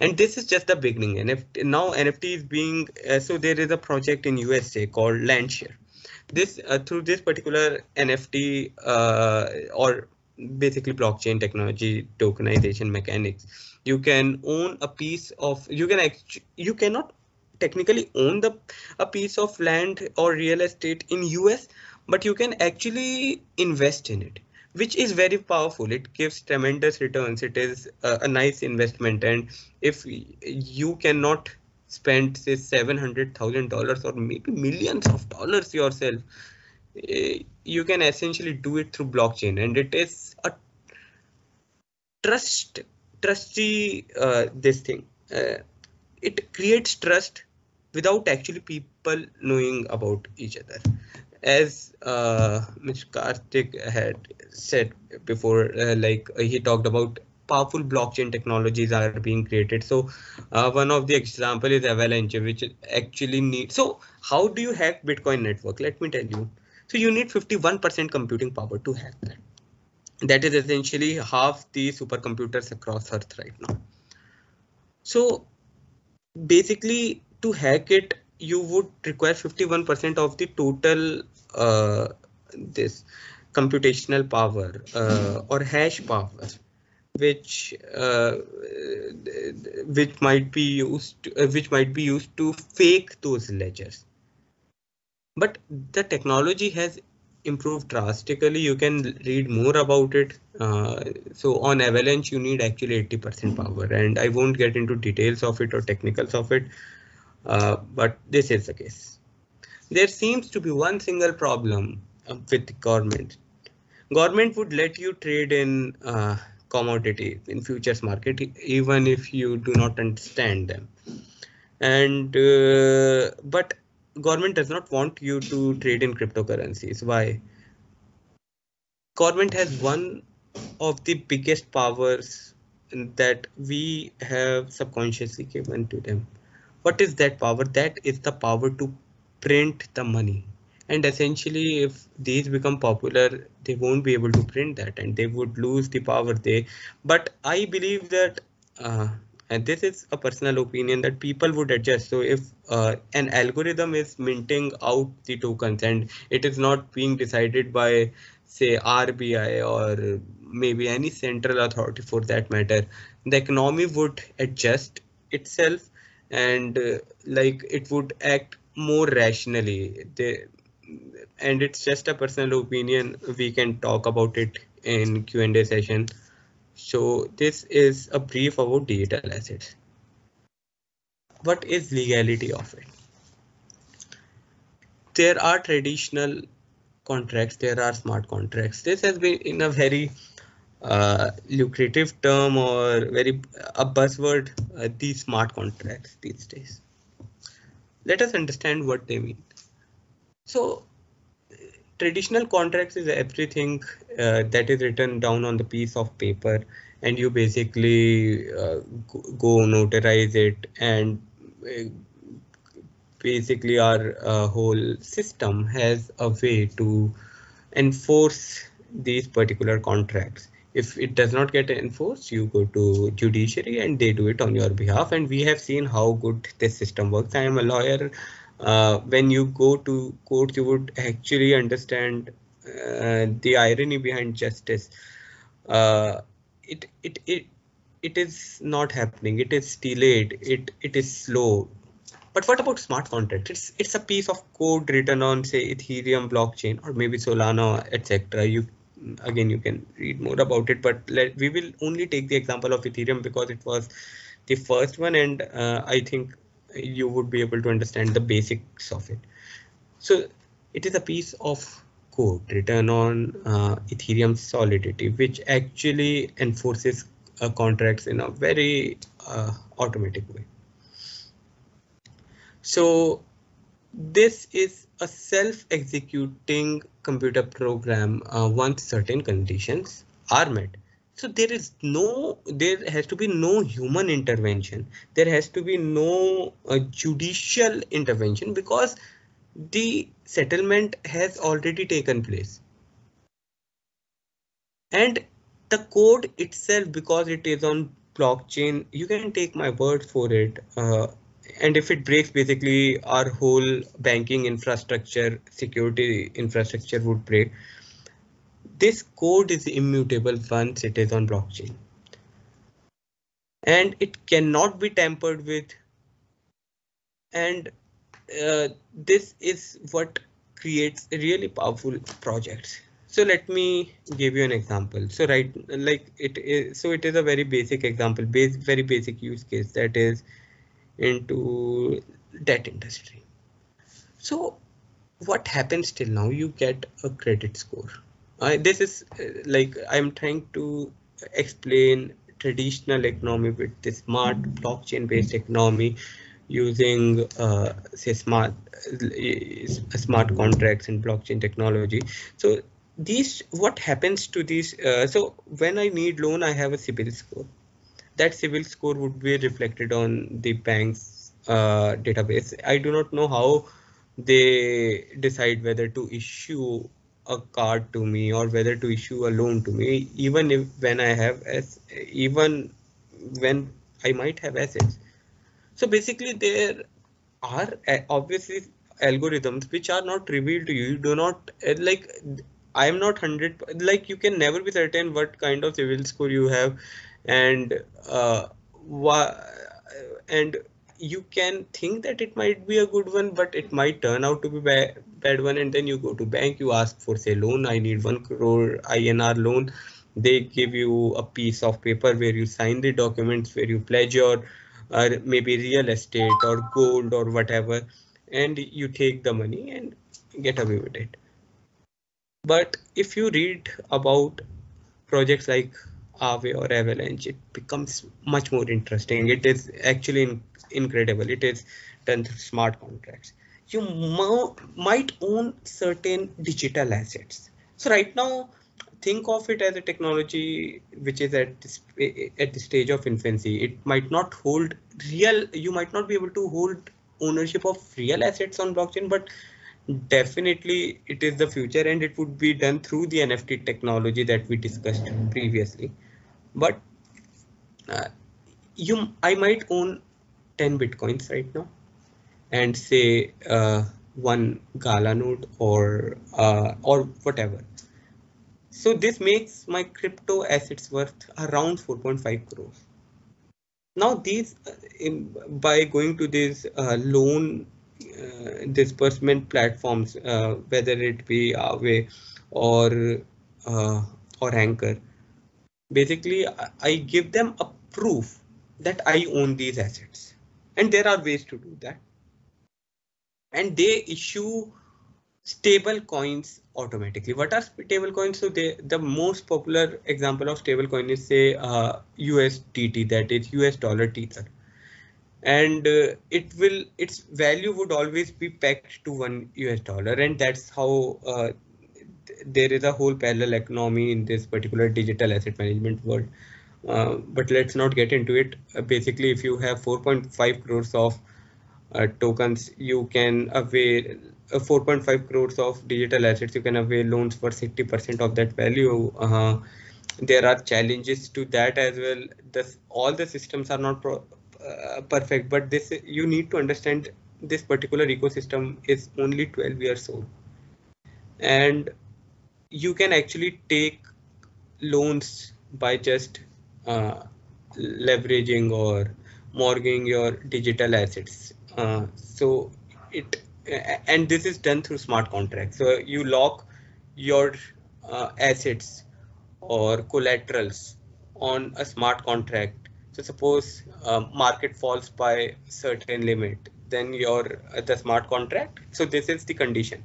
So say if market falls by say 80%, then or 70%, your uh, crypto holding holdings or these digital assets that you logged in your smart contract would be sold automatically in the market. So this is an example of smart contract which is uh, which is very uh, which is used frequently and that's why people say that this whole system is collateralized or over leveraged but uh, that is an, again a debate for another day. Now my friends let us talk about what so is bitcoin a legal tender? Many people say that okay so this is cryptocurrency so it's a currency and that's why it must be lender So you can see my screen over here. So I have said, I have asked this question and I have been asked this plenty of times as to uh, how do you categorize these digital assets or cryptocurrencies? Are they security? Are they currency? Are they coin or something else? I'll be very direct. These are very specific terms. These are assets that are highly regulated and they they are defined in the present statutes. So if you go to security laws, there would be some uh, some uh, document by SEBI and they would say, okay, so we would consider X, Y, Z, A, B, C as security. And we have a document by RBI or and center uh, and and basically these are called statutes. Uh, in case you are not familiar with legal jargon, statutes are basically bare acts. Bare act means uh, there is a codified version of laws. Uh, so there you might have heard about uh, IPC that or uh, Code of Civil Procedure or Indian Contract Act, and these statutes would define what these things are.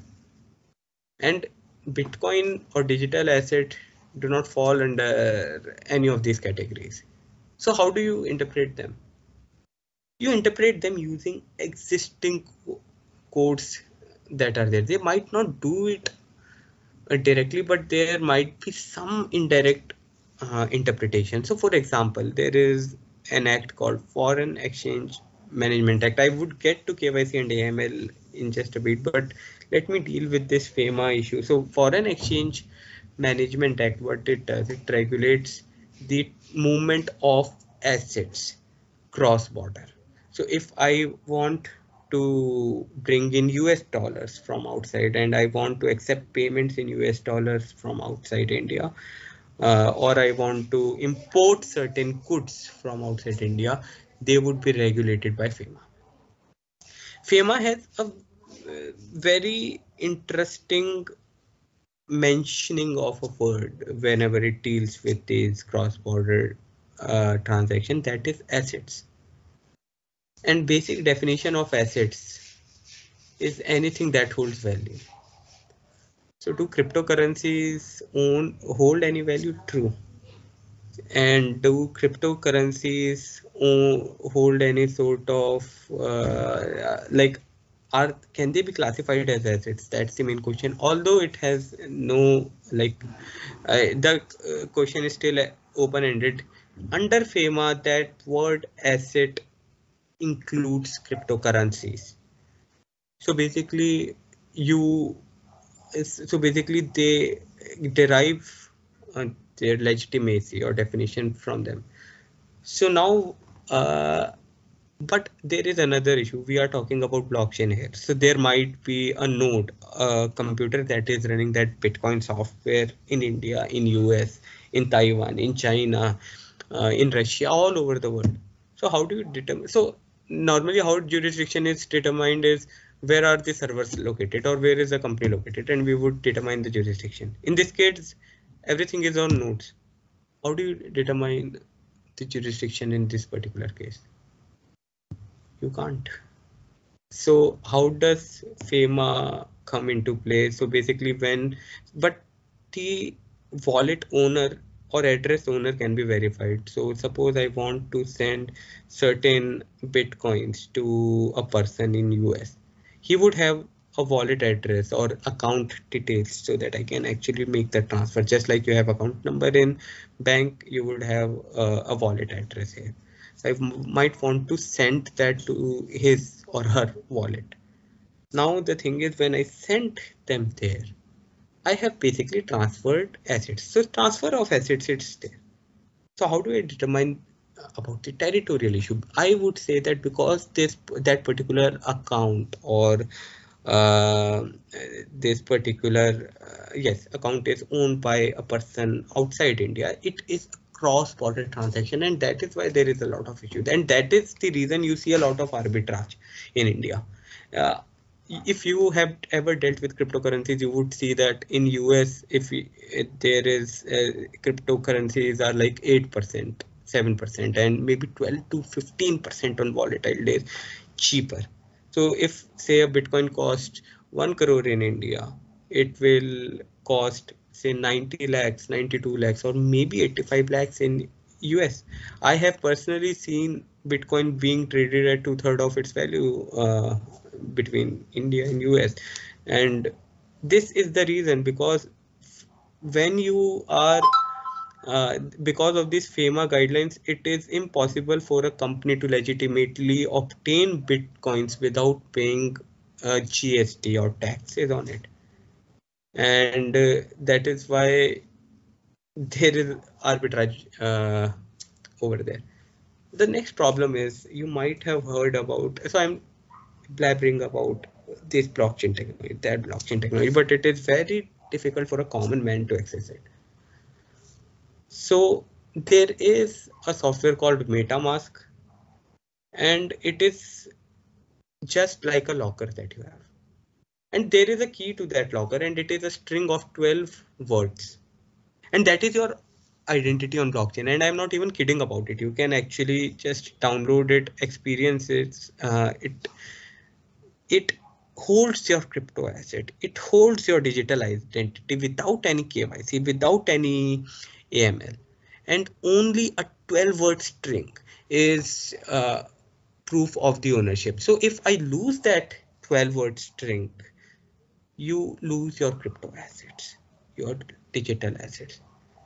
And that's why you see that people crib about losing certain keys. And this might be considered a very uh, like basic example of the same.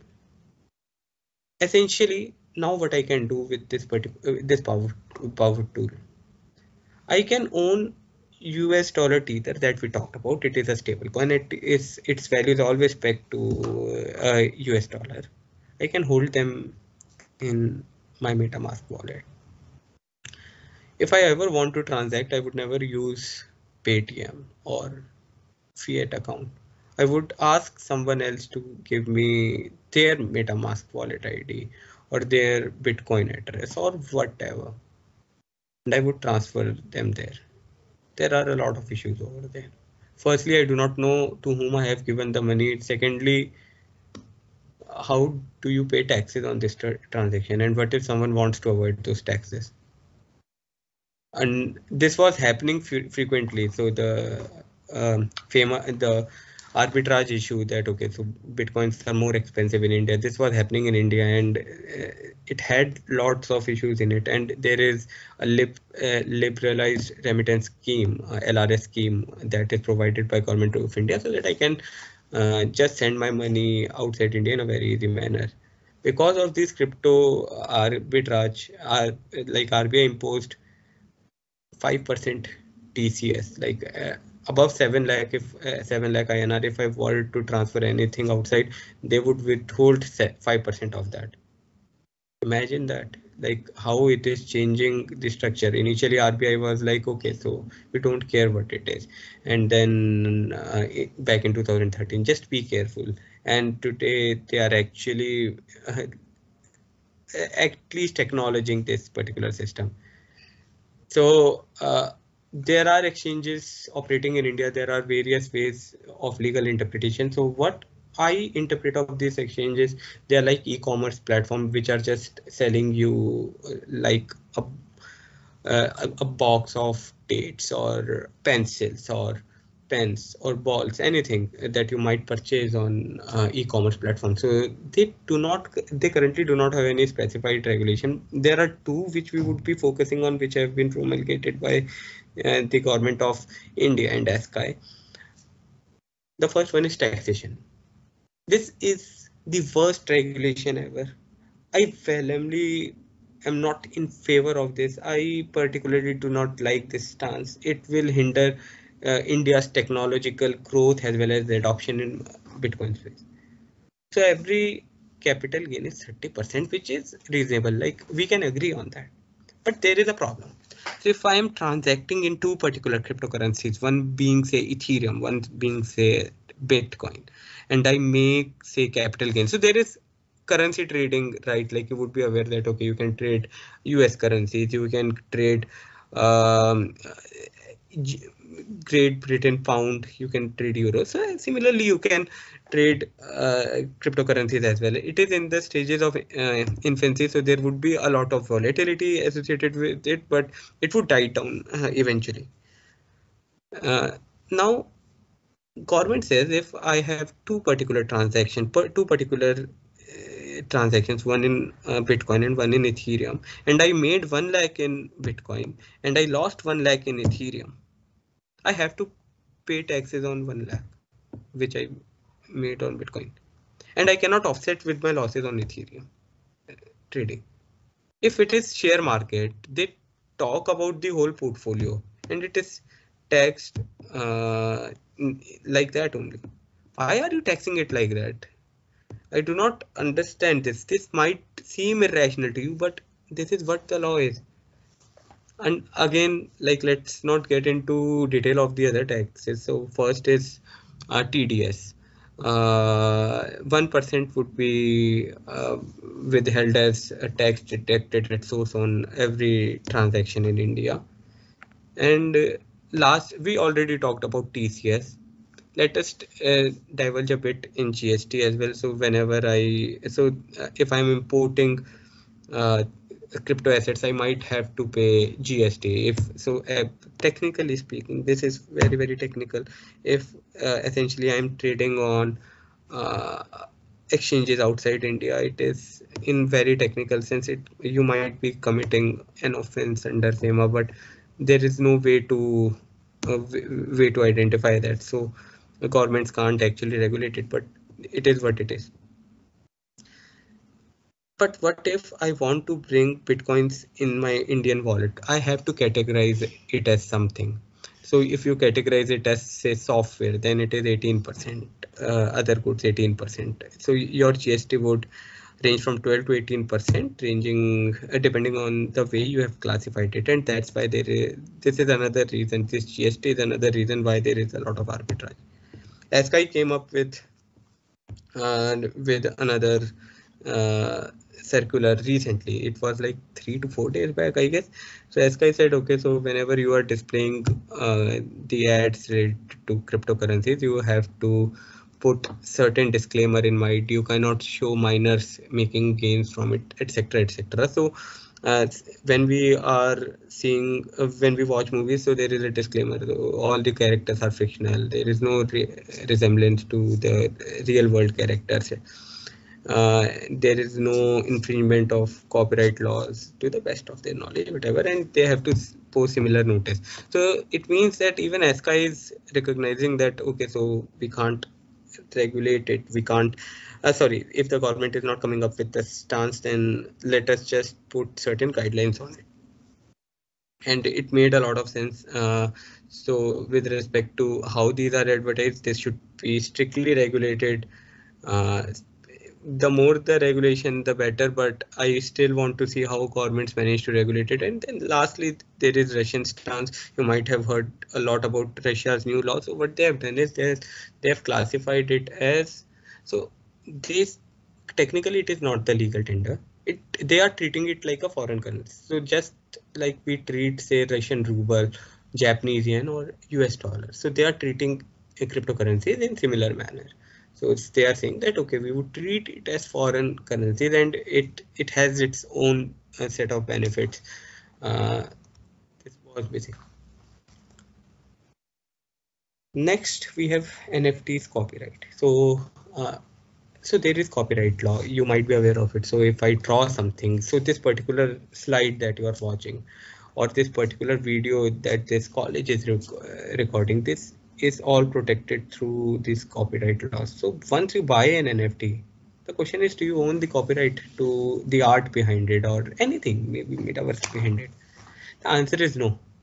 There are specific clauses with respect to it, and you have to transfer these rights in writing, and therefore technically you do not get the copyright. So it's like owning a painting. Once you own a, so I create a painting and I like you pay me money and it goes to you so you might own the painting, but do you own its copyright? Answer is no. and similar thing is happening with in nft space so technically copyright is not owned by nft holder there are a lot of issues with respect to identity and personal data on metaverse someone might steal your identity or might come might mm, come to know about your real world identity and create a lot of problems so uh, there is this classic movie which everyone keeps referring to. You might have watched it that is ready player one. And there you remember the lead hero's identity being revealed in metaverse and she led to real world consequences. Hopefully we don't get to see that kind of world but how do you protect your identity and personal data in metaverse? It's it's a completely diff it's a very tough question to answer. But if it is built on uh, the, on blockchain technology, the data is already pseudo-anonymous. You don't have to do much about it. And that's why we see a growth of these decentralized uh, metaverses, whether it be Decentraland, Sandbox, Somnium Space, etc. And they are great projects.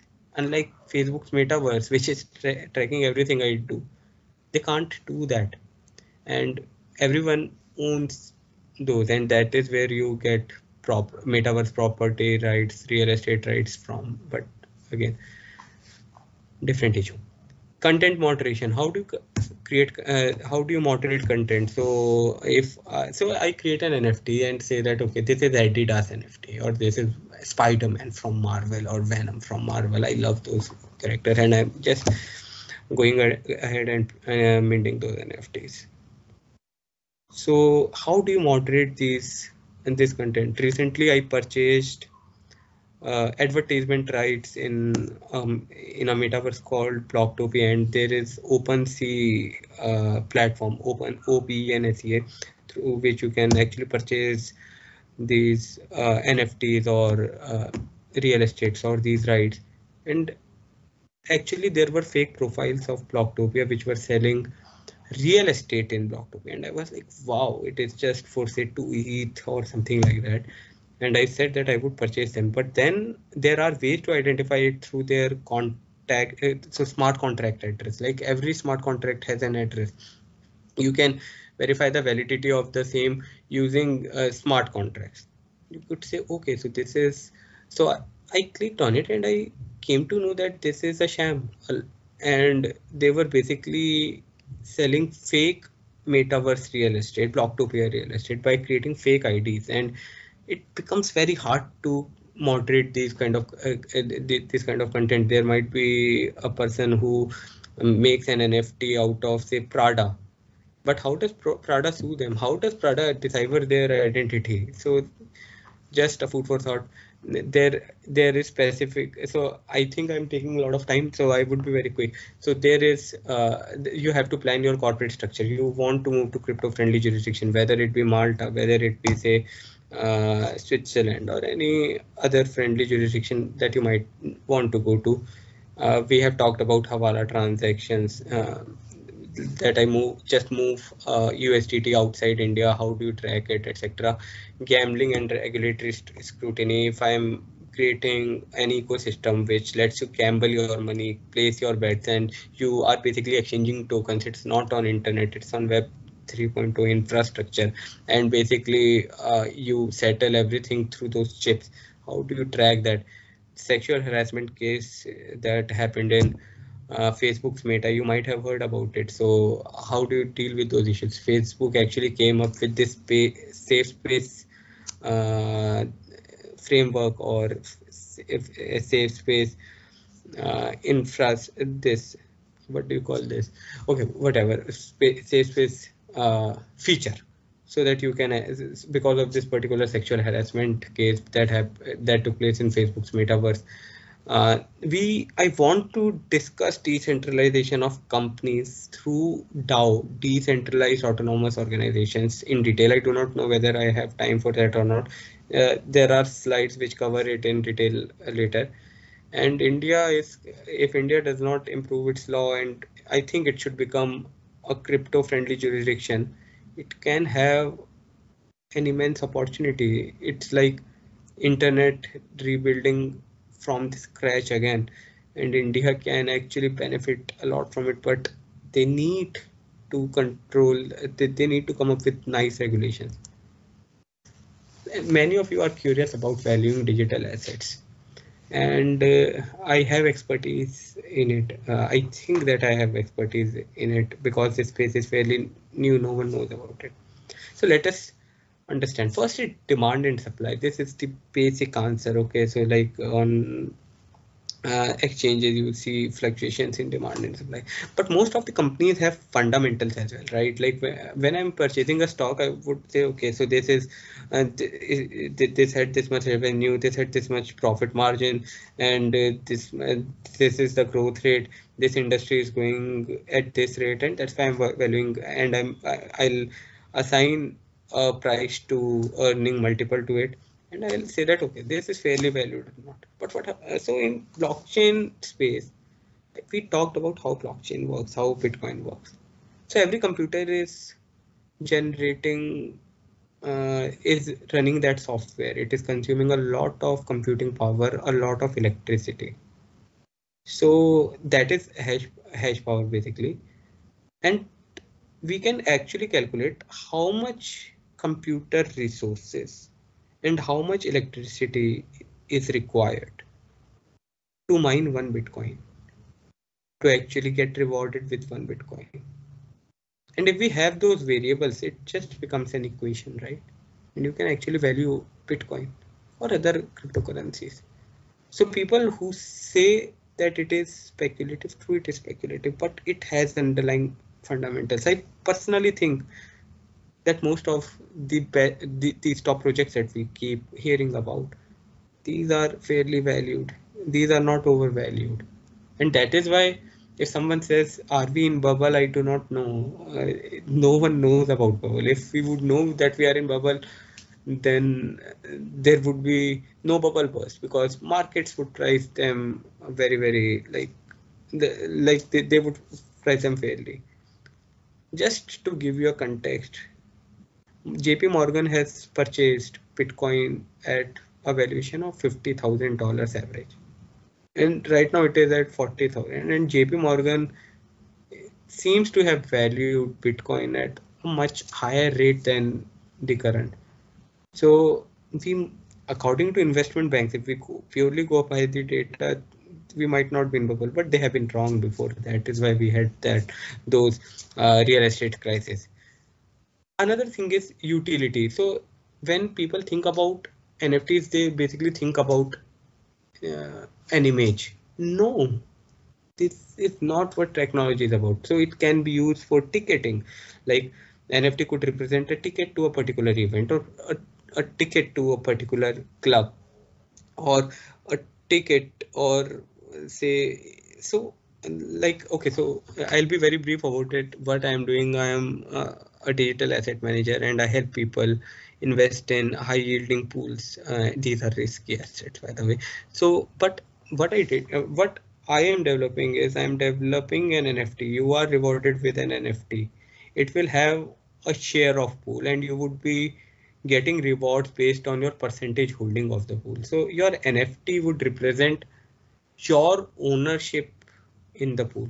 I think it makes sense to you. Uh, I don't know, but suppose you come to me, you say, okay, I want, there is a digital assets worth one crore. I want to invest 20 lakhs. And I'm say, okay, let us create a pool and I have, uh, so I, so I create uh, this pooling mechanism on my website. And I ask people, okay, if you want to pool in your money through MetaMask, you can do that. And people do that. You basically own 20% of whatever rewards we reap. And I will issue an NFT which would signify that under this particular pool you hold 20%. So this is a completely different dimension to the NFT technology that we have talked. Even real estate, uh, metaverse real estate is uh, implemented through uh, NFT technology. So when people say that these are overvalued, these are undervalued, it depends on per person to person, and it depends how you value them. There are, but remember there are fundamental funda underlying fundamentals behind it and i won't be going into it because uh, i have limited time but do not think that it is all speculative do your research and like you can arrive at a fair value i uh, want to discuss yes Uh, I'm sorry to interrupt you, sir. Uh, there's some sort of echo. I'm sorry Okay. if you. Uh, Okay, okay. Let me. Uh, let me. Just, just. Is it better now? Hello. uh, yes, sir. Sir, I just wanted to say that uh, due to time constraints, we would request if you would be able to wrap up your presentation. Just give me two more minutes, two to three more minutes. Okay. Yes, sir. Yes, sir. Thank you, sir. Yeah, so this is uh, basically it's decentralized autonomous organization. So basically, instead of a company, you can have this particular structure which only which is only on the internet on the blockchain, and basically uh, people purchase your tokens and they get to vote on how the treasury is managed. So this is a whole new ecosystem. You can read the text. A DAO is a centralized, decentralized autonomous organization. It is a type of organization that is managed by people, but by people pro programs also known as smart contracts. DAOs offer an alternative way to build a company and have gained tremendous momentum. Just to give you a context, a DAO is purchasing a baseball or uh, some team in Denver. So they are spending 4 billion for that. And this is the first time that a DAO is able to gather that kind of support and spend that kind of money on a physical asset. But let us not get into details of it. Uh,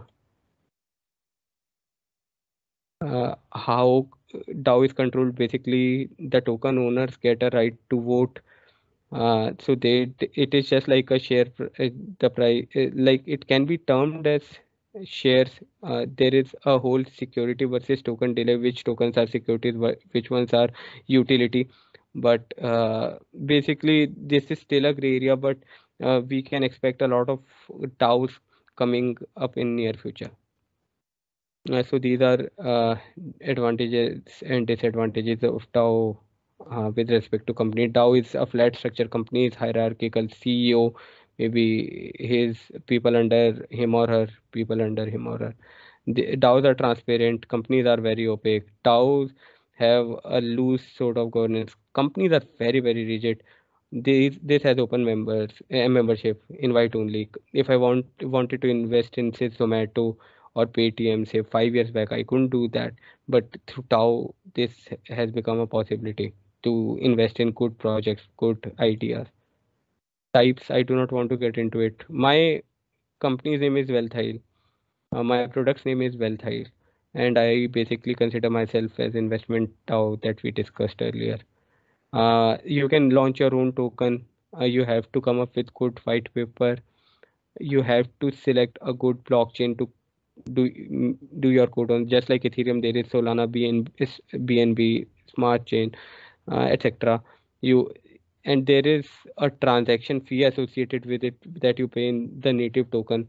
So people are moving away from ethereum just because of transaction cost. Yes it is very easy to launch your token. But you have to understand that not everything can be tokenized and you have to come up with sound mechanisms as to why you are doing it uh, before you can launch your own token. That is the end. Thank you, sir, for such a detailed insight into the world of blockchains and digital assets. Uh, taking the lead after Dr. Kartik's amazing presentation is a difficult ask in itself, but your simplistic yet descriptive approach was extremely well presented and simplified the complexities of the digital world. We uh, express our sincerest gratitude for giving this insightful presentation. Now, I would like to uh, I would like to give the the mic to Ishna so that she can conduct the Q and A round. Thank you, sir. Uh, thank you so much, sir. It was a really insightful session. Now I would like the audience to po- post any questions that they have in the chat box. I will read it uh, to sir and then he could answer it.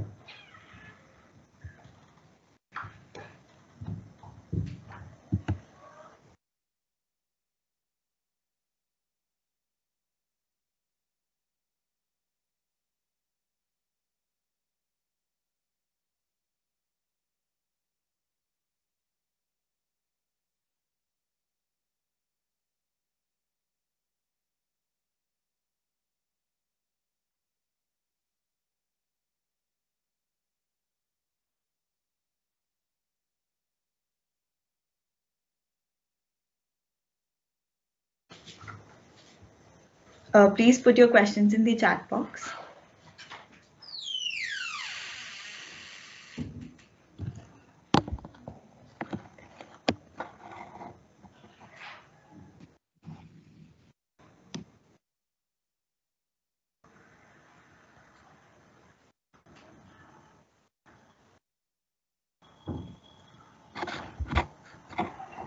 So we'll just wait for two to three minutes more. I guess they're typing the uh, questions. It is cool. it is a fairly complex topic yes, and like yes. everyone seemed to have a yes. thorough discussion before as well. So they might be tired. It is fine.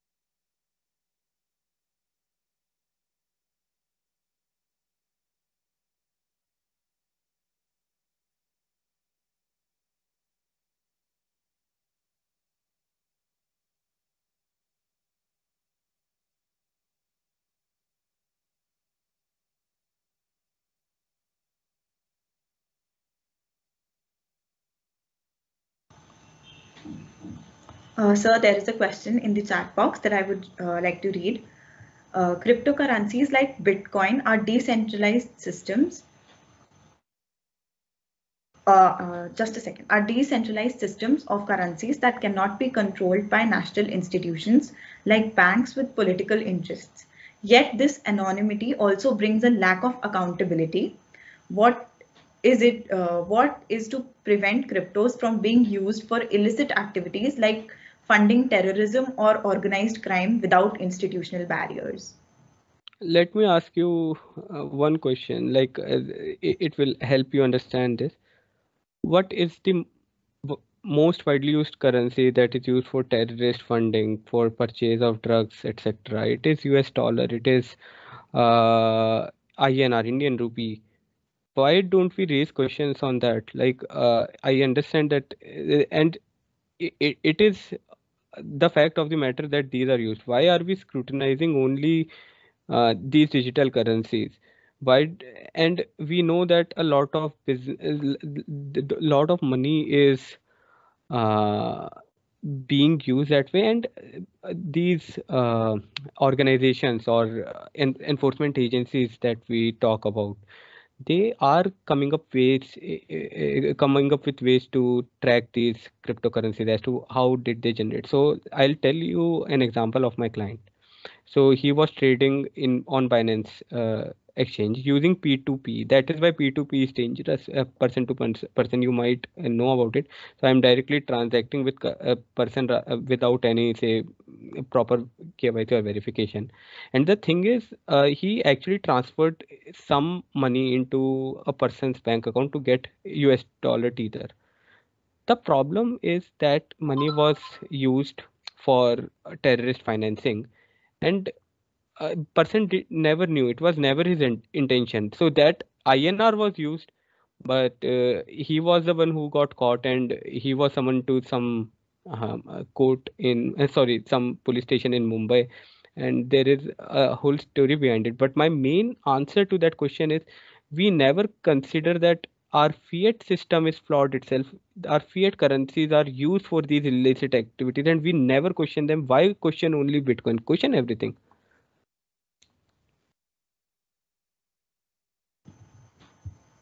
Thank you, sir. So there is another question.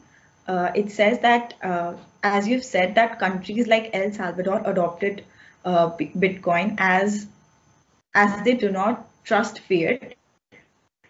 they have USD and BTC both as legal tender and choose to adopt Bitcoin to avoid the transaction fee in remittances and transfers from abroad. So do you think they uh, do you think they are alternatives for each other?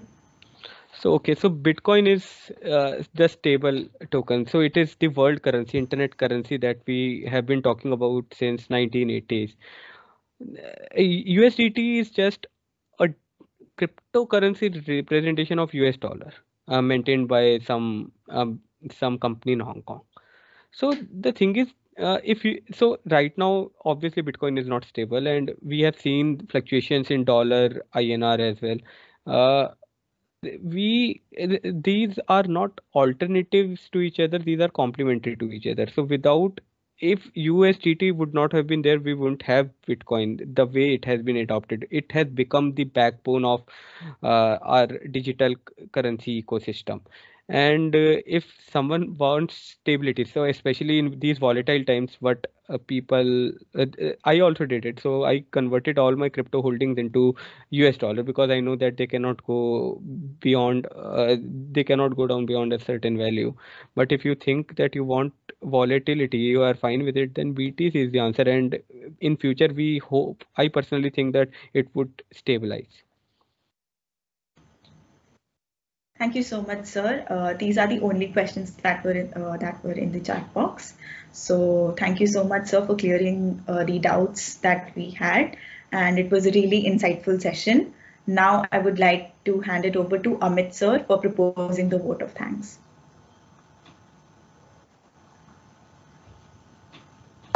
Uh, hello, good morning uh, to everyone. Um, it's it's an honor to to propose the vote of thanks on behalf of the Economic Association of Sri Venkateswara College on the second day of the place point. Uh, it's it's an absolute uh, privilege to hear from you, uh, Mr. Siddharth. Uh, it, it seems you are an ardent supporter of uh, Bitcoins. Uh, well, I, I, I, beg to differ on that, but still, your views needs to be respected. So I would like also to express my heartfelt thanks to Mr. Siddharth Dalmia for sharing such great knowledge and information with all of us. The session was really informative and it was really interesting to know about uh, Bitcoins, cryptocurrencies, metaverse, as well as obviously the changing shape of economics. The potential digital economics has its hues, and today we got to know about this. We are really grateful uh, to uh, Mr. Siddharth. Thanks, thanks. It's, it's a privilege to have you here, sir. Thanks a lot. Thank you. Uh, it was privilege. Uh, it felt great to be invited for this particular forum, and yes, I support uh, digital adoption. And thanks for giving me an opportunity to present my views and uh, help people understand what where we might be headed and we uh, and it and i really respect your views my father shares your sentiment and we constantly have debates regarding this but obviously anyone can be right about this we do not know where we are headed regarding this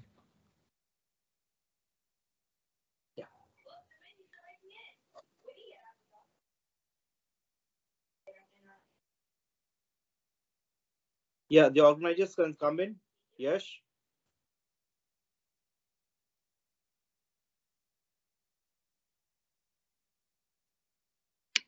Thank you so much, sir. We we shall be concluding the session now. Thank you to everyone present, sir, and thank you once again.